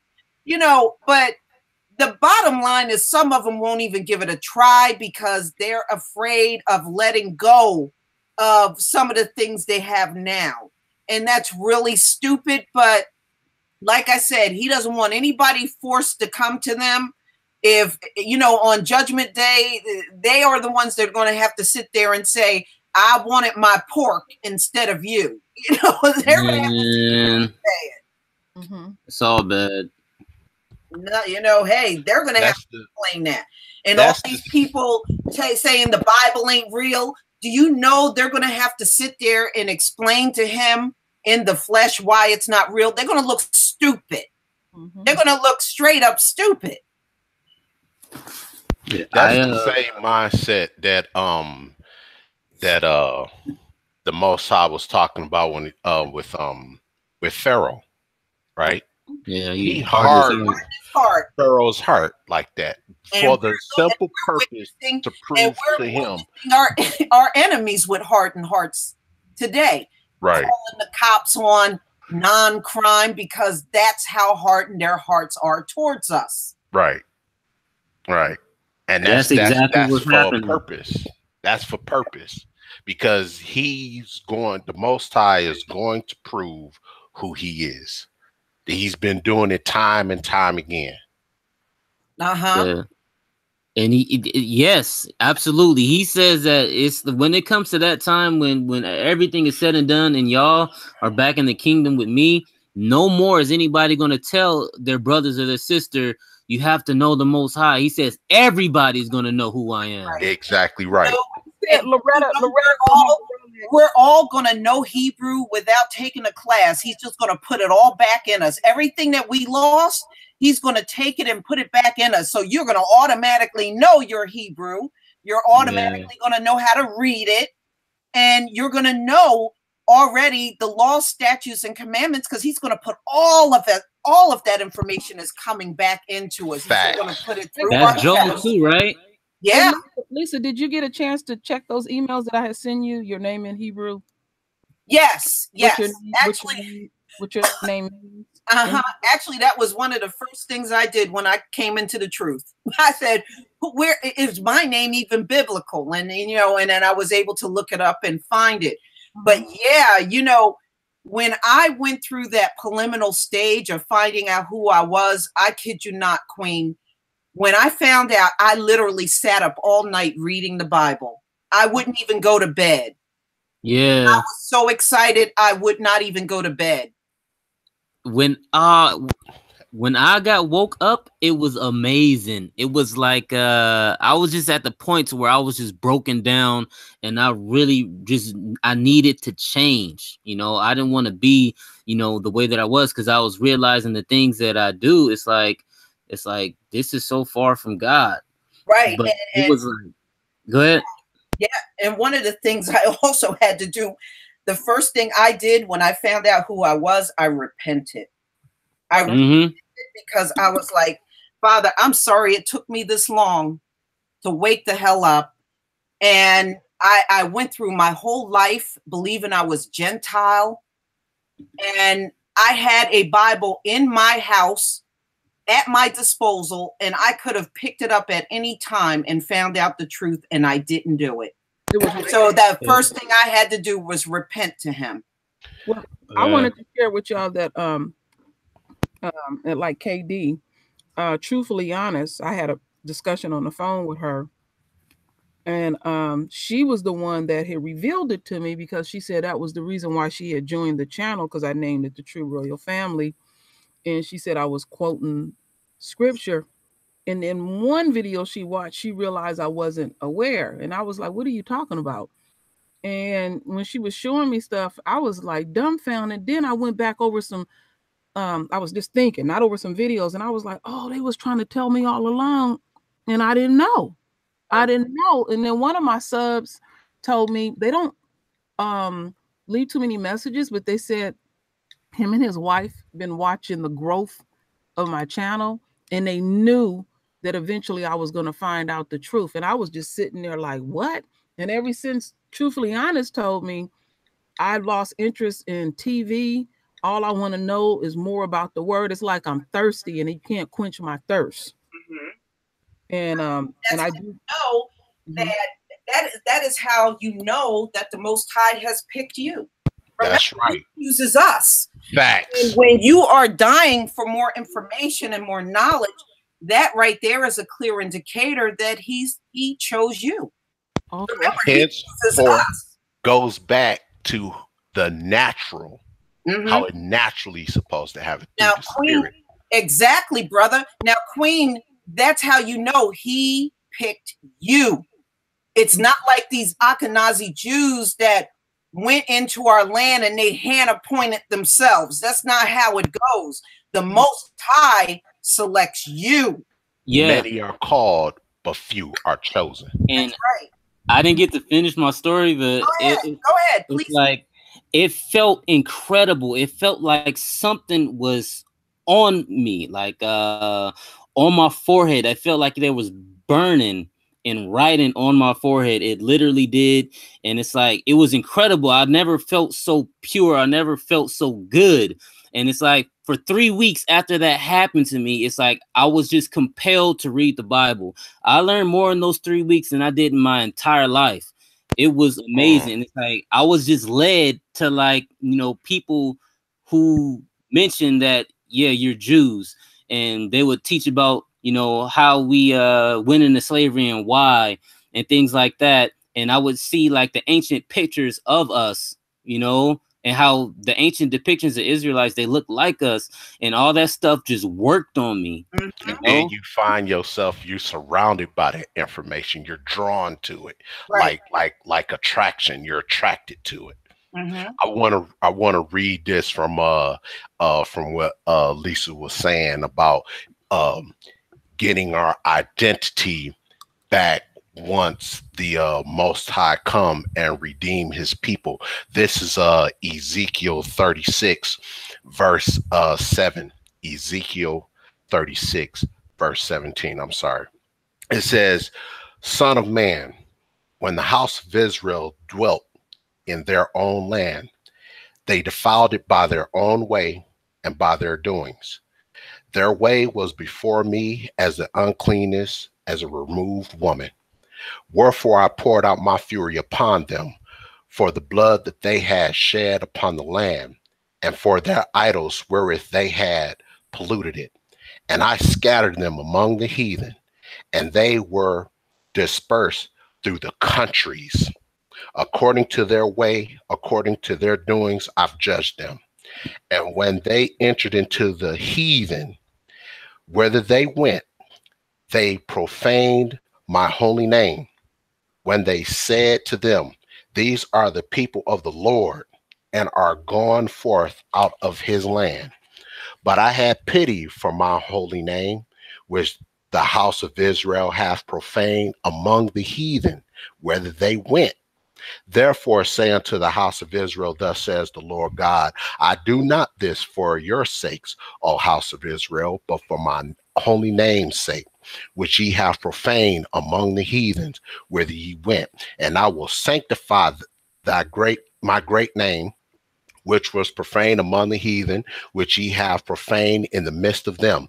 And the heathen shall know I am the Lord, saith the Lord God, when I shall be sanctified in you before your eyes. For I will take you from among the heathens and gather you out of all the countries and will bring you into your own land. Then I will sprinkle clean water upon you, and ye shall be clean from all your filthiness and from all your idols. I will cleanse you. A new heart also will I give you. A new spirit will I put in you, and I will take away the stony heart out of your flesh, and will give you a heart of flesh. And I will put my spirit within you, and cause you to walk in my statutes, and ye shall keep my judgments and do them. Amen. Hallelujah. Um, I wanted to say something real quick. If anybody want to see what their name look like in he- Hebrew, just Google it and just put your name, put in Hebrew, and you'll see it. Mhm. Now, now you're not gonna. Not all of us are gonna find out what our name mean because not all our names are. Queen, you- you're going to when we get in the kingdom, you're going to get a whole new name. yeah, I remember you told me that. Yeah. get a whole new name. Now, one thing I wanted to say when you were talking about, you know, finding out you were chosen and everything through truthfully honest, Mm-hmm. the Most High always knew you were coming. You know that? No, I didn't chose, realize. He chose you when you were still in your mother's womb. That's how he chose all of us. Do you know that? That's right. Facts. Chosen that way when you were still being carried by your mother. He had Bible says, Before the foundation of the world, I have chosen you. already chose you before you even came out of your mom's womb. Mhm. That's how we're all chosen. Amazing. Mm-hmm. So it goes way back, even When you were going through your childhood, not understanding what was going on, but you knew something wasn't right. That Mm-hmm. spirit was already on you. Yeah, I, I I knew something was going on because y'all, you know, you've heard some of my videos. I have visions. Thank goodness my family would let me speak and not say I was crazy. And they just let me be. Mhm. My family still protected me. They let me be. I don't always get it right, and I say this often.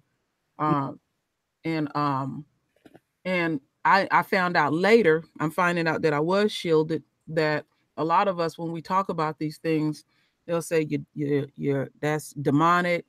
You making it up. You crazy. Those are Yeah. isms. It'll, it'll shut you down. I didn't know I was able free to speak the way that I was, but now I'm finding out later it was, I was free to speak amongst my family. Oh yeah, you know, I used to see things happen around me. Mhm. I could never figure out why it was happening, but I knew something was up.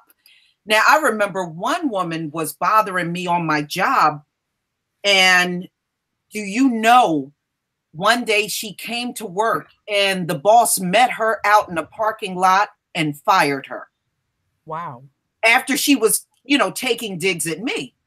Mhm. And I was like, wow. Then it was another white woman that didn't like me. You know how their hatred is towards us, it's unjust. It Mhm. is really no reason behind it, but I knew she was a racist asshole. Anyway, her ass went away on a business trip. She died in her hotel room Wow. it would seem like everybody that would try to attack me on some level, something would always happen to them. Now, And Lisa, I happened to my father. a long time. I I knew something was up, but I just never connected it until I came into the truth. And I said, "Oh my God, he was protecting me all along." Uh-huh. That happened to my father a lot too, because they was always messing with him, Lisa, at work. And it was an older white man that constantly, constantly messed with him.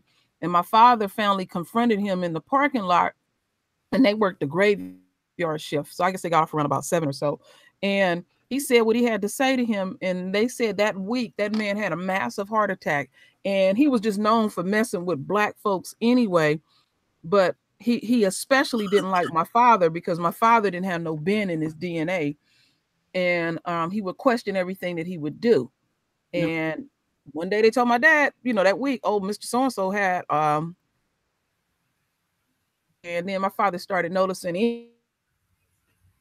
Yeah, um, and, and then anybody that last of time I was working in corporate America, it was I always fell out with the white women, as you can see, nothing new. No, And don't have peace. yeah, so anyway, this one white woman and I weren't getting along, and just before, because I had resigned, I was taking another position at a different company.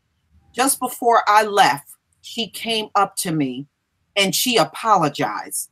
She said, You know what? I'm going to apologize to you. She said, Ever since you and I stopped getting along, nothing has gone right in my life.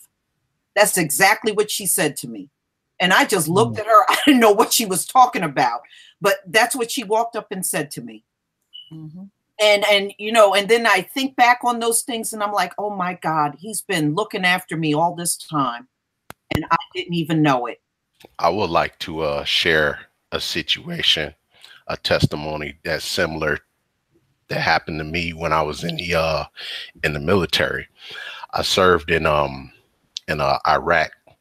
I'm a um a First Infantry Division in Charlie Company, and we went to uh to Crit, Iraq, and um I was in charge of a, a a Humvee, and I was my first sergeant's driver, and my Humvee uh, tire went flat, so it was my responsibility to do all the uh, maintenance work on on my vehicle. But the uh, the tires on the Humvees are in three parts, and the the the rim is a is a four part rim. It, it comes in pieces, and it's really really difficult to uh, change that that tire out.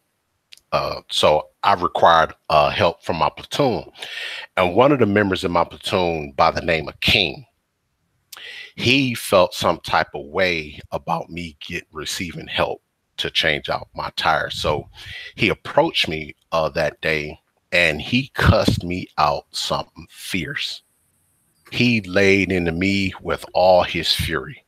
Called me dumb, stupid, ignorant. You could do this work yourself. We don't need you lazy, all of this, right? And Mm-hmm. so I told him, I said, look, look, King, look, man, this, this is the situation. I can't do this by myself. You ought to know that. But just look, I hear what you're saying. Just walk away, leave me alone. And and I've been trying to tell him to stay away. He he's been he's he's been, you know, picking at me ever since we, we got there. But anyway, we had um did a mission where we had to uh transport some uh concrete barriers to place around the police station down the road. And so it was going to be like 18 hours for us to sit out there and provide security for the construction workers because it took all night and part of the morning. And so we tired. Morning came we're tired we're sleepy and stuff like that so King, he was the SAW gunner for the company commander, the captain. He he was the lead vehicle.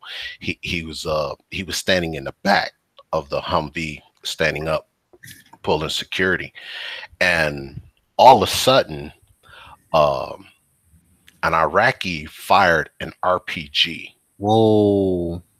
That morning, and went through the windshield of the commander's Humvee and struck the pedestal that held King's uh, rifle in place, and he was standing there. So basically, the RPG landed at his feet and blown up in his face. Wow.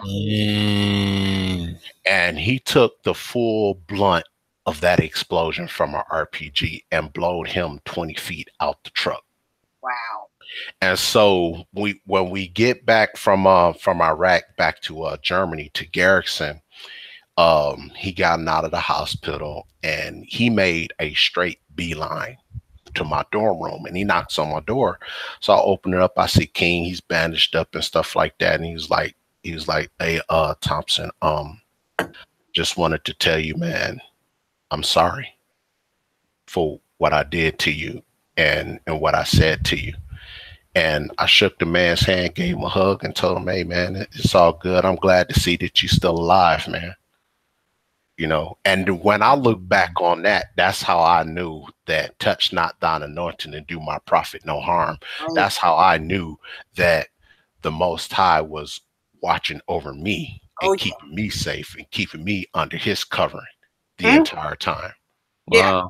And the thing is, I can even think of times when, as far back in childhood, when I was in school, I would see things happen, even to teachers that I didn't like.